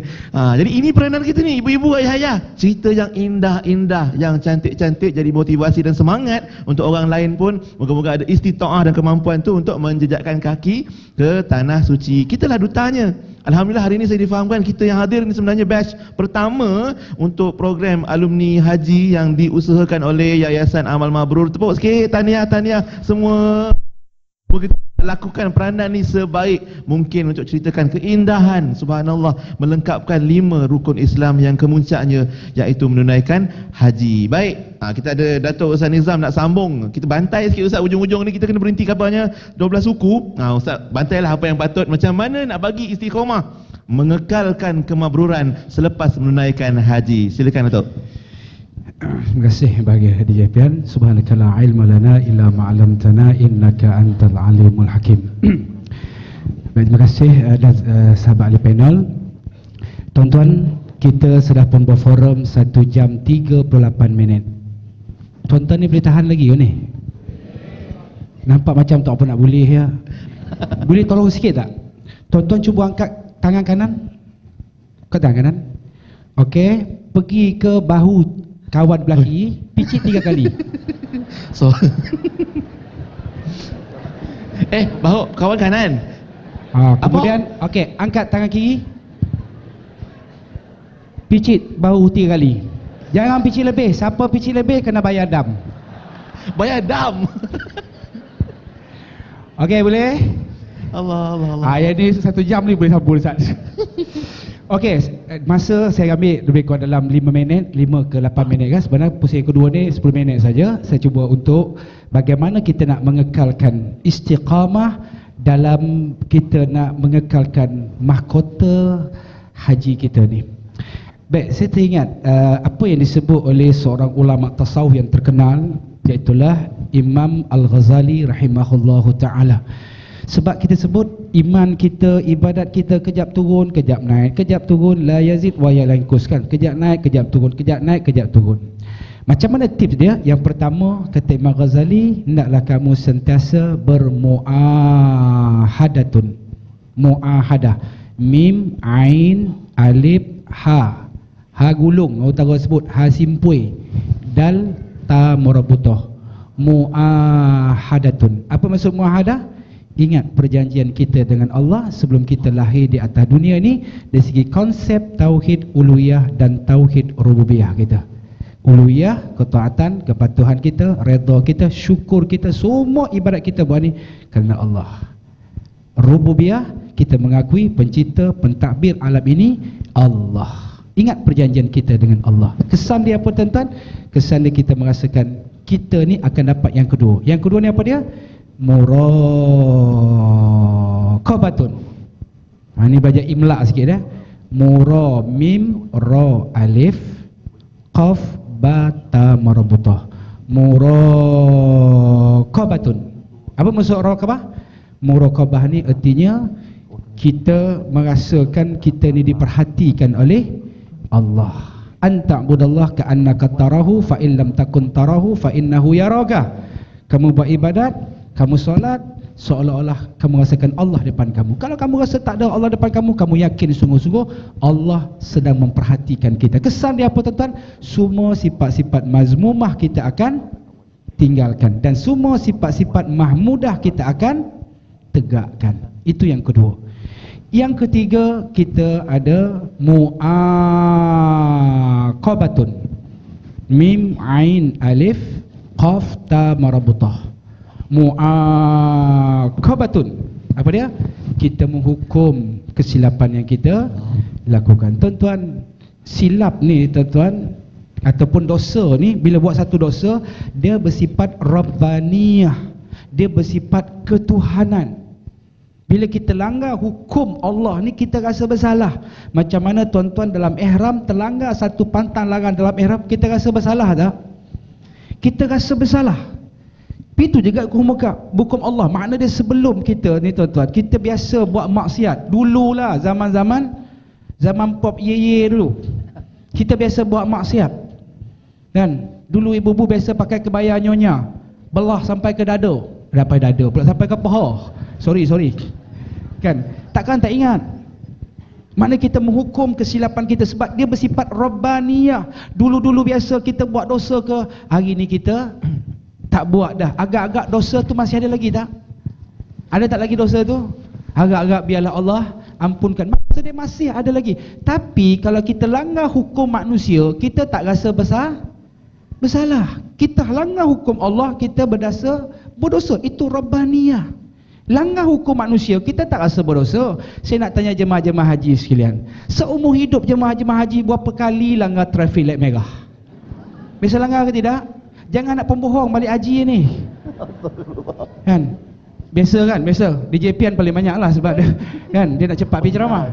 Biasa langgar kan? Dah langgar trafik lemah, biasa tak, Ya Allah, aku bertobat padamu, Ya Allah, aku langgar trafik Ada ke? Haram buat ada. Tuan-tuan nak ceritakan bagai itu hukum manusia. Bila hukum Allah, kita rasa besar, kita rasa besar. Itu tak kita mesti ada mu'aqabatun. Tiga. Yang keempat muhasabatun. Muhasabah. Apa yang kita dah buat sejak daripada balik haji dengan boleh kekalkan tak? Sebab Allah Taala akan tanya kita nanti, what have you done? Oh. Ha, tu yang saya malas cakap bahasa-bahasa dia. Apa yang telah kamu buat? Tuan-tuan, muhasabah, muhasabah apa yang kita dah agak-agak dia macam mana aku akhlak aku mana ibadat aku di segi penambahan ilmu aku di Mekah macam mana di balik ke tanah air. Ayat tu kita kena muha, muhasabah balik. Tak mana? Sebab apa? Satu benda yang terjadi ni kadang-kadang ada sebab musabab yang Allah Ta'ala nak bagi ujian kepada kepada kita. Macam di JP yang tadi bukan, soal sahabat ni kata nak pergi Mekah, kita memang betul tuan-tuan, kita buat dosa ni, kita kena muhasabah balik kesilapan kita. Tapi nak cerita dia tentang bagaimana surah jemaah haji ni Ustaz kan? Dan ada dia ni, sahabatlah hantar WhatsApp dekat saya. Saya baca pun penuh dengan khusyuk. Sebab apa? Seorang jemaah dia dapat panggilan haji. Dia belum bersedia. Belum bersedia, tapi tabung haji dah panggil. Kan isteri kata, "Jomlah bang." Eh, abang tak bersedia lagi lah. Dia kata, "Jomlah bang, nak agak bersedia sampai bila nak bersedia? Khusus haji pun tak pergi ni." Jomlah. Dia kata, hmm, tak apalah, pergilah. Kawan-kawan pula bagi motivasi pula. Kau jangan, kau tak pergi haji, kau tak nampak Kaabah. Lagi kawan wanita, takut lagi nak kena muhasabah dia aku banyak ni kata. Tapi tak boleh dia kena dah daftar dah rumah kata dah pergi pergi pergi jangan cerita banyak pergi. Tuan-tuan dia pergi penuh dengan rasa dosa yang dia bawa ni macam mana lah apa kan jadi ni. Sebab ni hantar WhatsApp dekat saya. Saya baca pun aku syuk Allah kesian jemaah ni. Tuan-tuan naik KLIA kemudian dia turun dekat Jeddah masuk Mekah dulu. Dalam kapal terbang tu ya Allah, tolonglah aku ya Allah, bantulah aku ya Allah, ampunkan dosaku ya Allah. Sampai-sampai di Jeddah tuan-tuan. Sampai-sampai di Jeddah, apa pramugari kata dah siap ke sampai, tiba-tiba dia tak boleh bangun daripada tempat tempat duduk tuan-tuan. Allahu Akbar. Habislah tak sampai Mekah lagi dah. Allah dah kifarahkan dosa aku ni. Macam mana nak buat? Habis kawan dah turun semua dah. Para mugari datang. Tuan Haji pasal apa? Aku tak boleh bangun. Tolonglah Allah dah kifarah. Tuan Haji tali pinggang tak buka lagi. Tuan-tuan Kita baca dengan punya kosok Jemaah haji ni macam ni punya whatsapp pun dihantar dekat ustaz tuan-tuan Okey DJ Fian Esok saya nak pergi Dubai Terima kasih Bye bye. Oi. Assalamualaikum warahmatullahi wabarakatuh. Waalaikumsalam warahmatullahi wabarakatuh. Landing dia macam tu sekali Ustaz Datuk Nizam. Terima kasih Ustaz atas perkongsian kita macam mana nak kekalkan dan istiqamah kemaburan itu insya-Allah. Nganga-nganga hajah-hajah kita muah qobah, muahadah. Apa pun moga-moga dicatat-catat dan diamalkan insya-Allah apa yang disampaikan. Tuan-tuan, puan-puan, ibu-ibu, ayah-ayah, para jemaah haji yang dikurniakan kemaburan insya-Allah oleh Allah Subhanahu Wa Taala. Kita dah sampai ke penghujung dan kita ada satu pusingan terakhir ni untuk sedikit kesimpulan daripada setiap uh, panelis kita insyaAllah lah mungkin nasihat uh, daripada ustazah dan ustaz kita kepada tetamu kita hari ini. Uh, silakan ustazah Fatimah kesimpulan kita insyaAllah. Semua yang saya muliakan. Jadi apa yang saya sampaikan tadi sebenarnya saya lah yang paling berhajat kepada peringatan tu. Saya simpulkan dengan surat Al-Baqarah ayat 200 hingga 201 untuk kita renung dan kita amalkan. Allah Subhanahu wa taala ingatkan kita a'udzu billahi minasyaitonir rajim fa idza qadaytum manasikakum fadhkurullaha ka dzikrikum aba'akum aw ashadda dzikra Setelah kamu selesai kerjakan haji hendaklah kamu seput-seput ingat Allah banyak-banyak Sebagaimana kamu banyak sebut, banyak ingat kepada mak abah kamu. Jadi Allah dah bagi kepada kita kerja. Ya. Kerja tugas lepas dah selesai haji ni kena banyak kagum kepada Khaliq berbanding makhluk. Sebab ada orang dia banyak doa, tapi doanya minta dunia saja. Maka dalam ayat ini Allah kata dia dapat bahagian dekat dunia saja je lah. Tapi kita diajar untuk doa kebaikan dunia dan juga akhirat.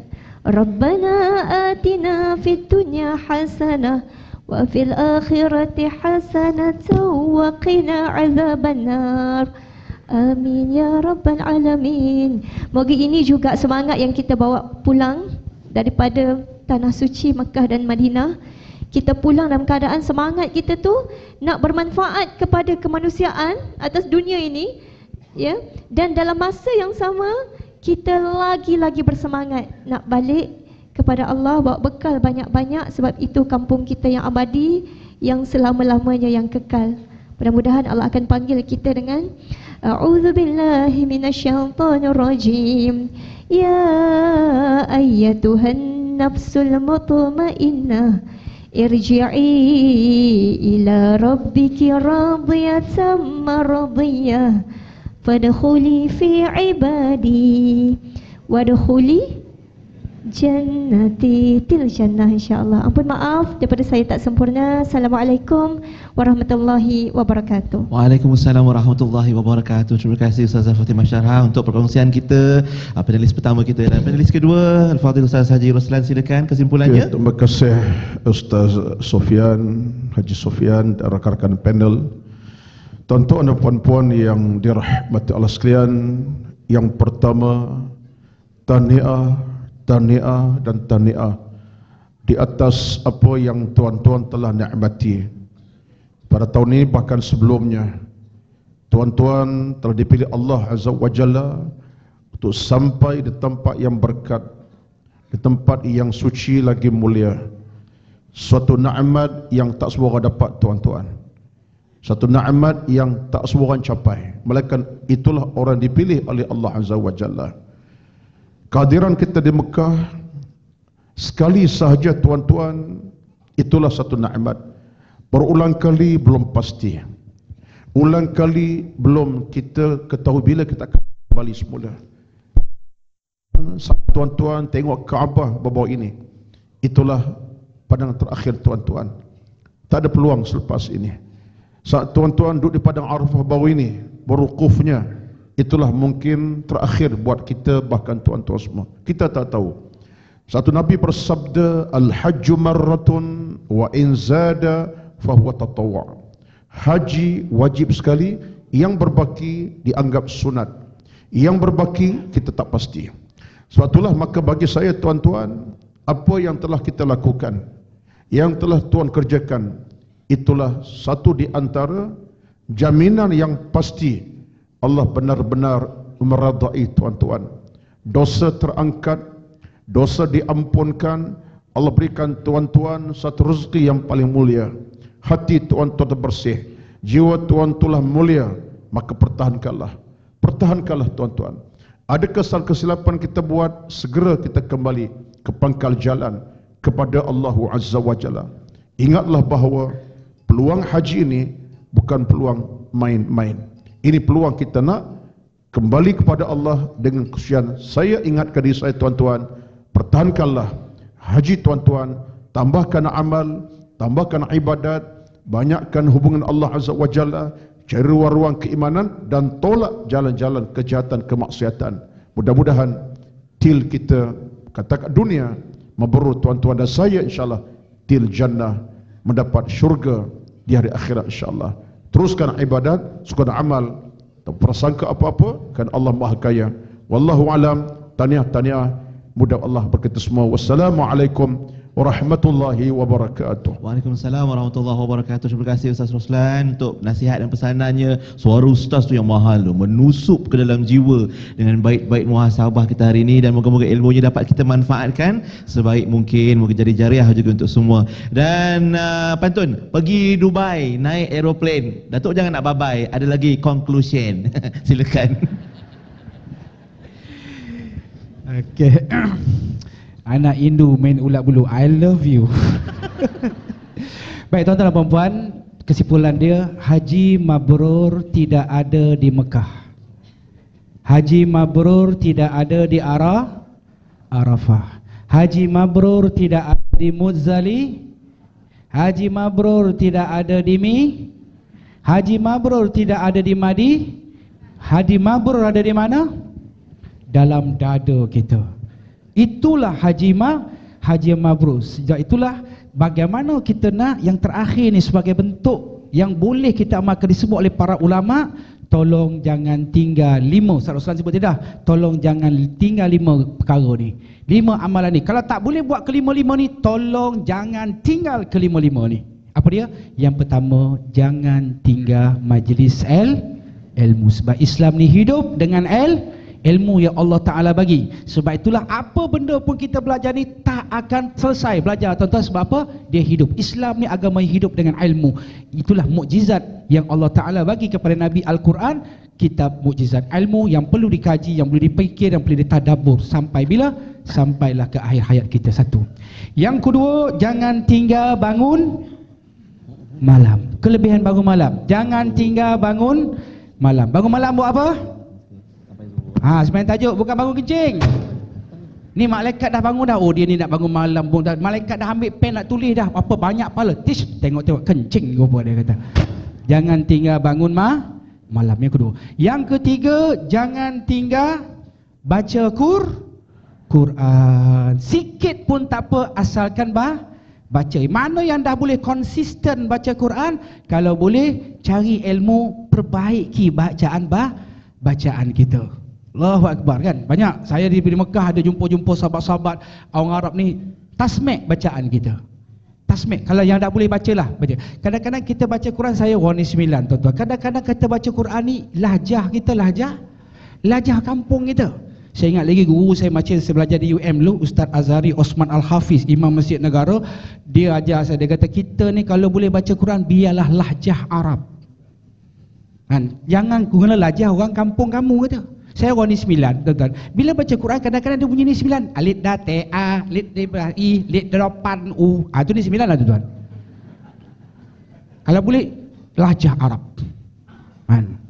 Orang Melaka kalau boleh lajah Arab, jangan lajah Melaka. Orang Melaka cakap macam tuan. Ula hijau melengkau ada pagar. Sebab tu kalau orang Melaka baca Quran, wa ula, ah tu memang Melaka lah tu tuan-tuan.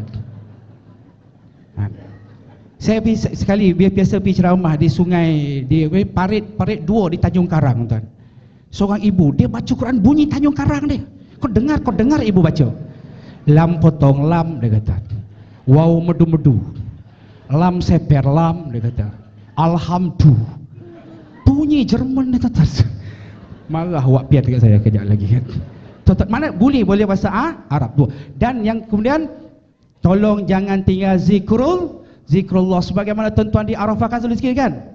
Zikir hasbi rabbi jallallah ma fi qalbi ghairullah Nur Muhammad sallallahu la ilaha illallah sama-sama hasbi rabbi jallallah ma fi qalbi ghairullah nur Muhammad sallallahu La ilaha illallah. Zikrullah boleh tak? Mana yang boleh lah kan? Kalau pandai tu bantu. Mana yang pandai yang, yang biasa? Biasa. Boleh ibu-ibu eh? Ibu tua pun kena zikir. Ibu muda pun kena zikir. Ibu tua zikir ibu tua lah boleh? La ilaha illallah. Tak tidurlah nak gunakan. Ibu muda zikir ibu muda. Apa zikir muda? Ma ma zakara wa kaza wa kaza. Contohlah contoh kan. Baik, dan yang terakhir yang terakhir tolong jaga pemah pemakanan. Jangan terlibat dengan haram sebab benda haram tidak membentuk akhlak sesahsia pribadi kita jadi jadi baik. Inilah lima mahkota haji yang perlu kita betal. Tak boleh buat kelima-lima ni tuan. Tolong jangan tinggal kelima-lima ni. Jadilah sekadar itu, mudah-mudahan apa kita kongsikan pada hari ini ada manfaat di sisi Allah Taala. Saya minta ampun kepada Allah dan minta maaf kepada tuan-tuan atas kalian yang bah yang berlaku pada ini. Jadi, terima kasih atas segala perhatian.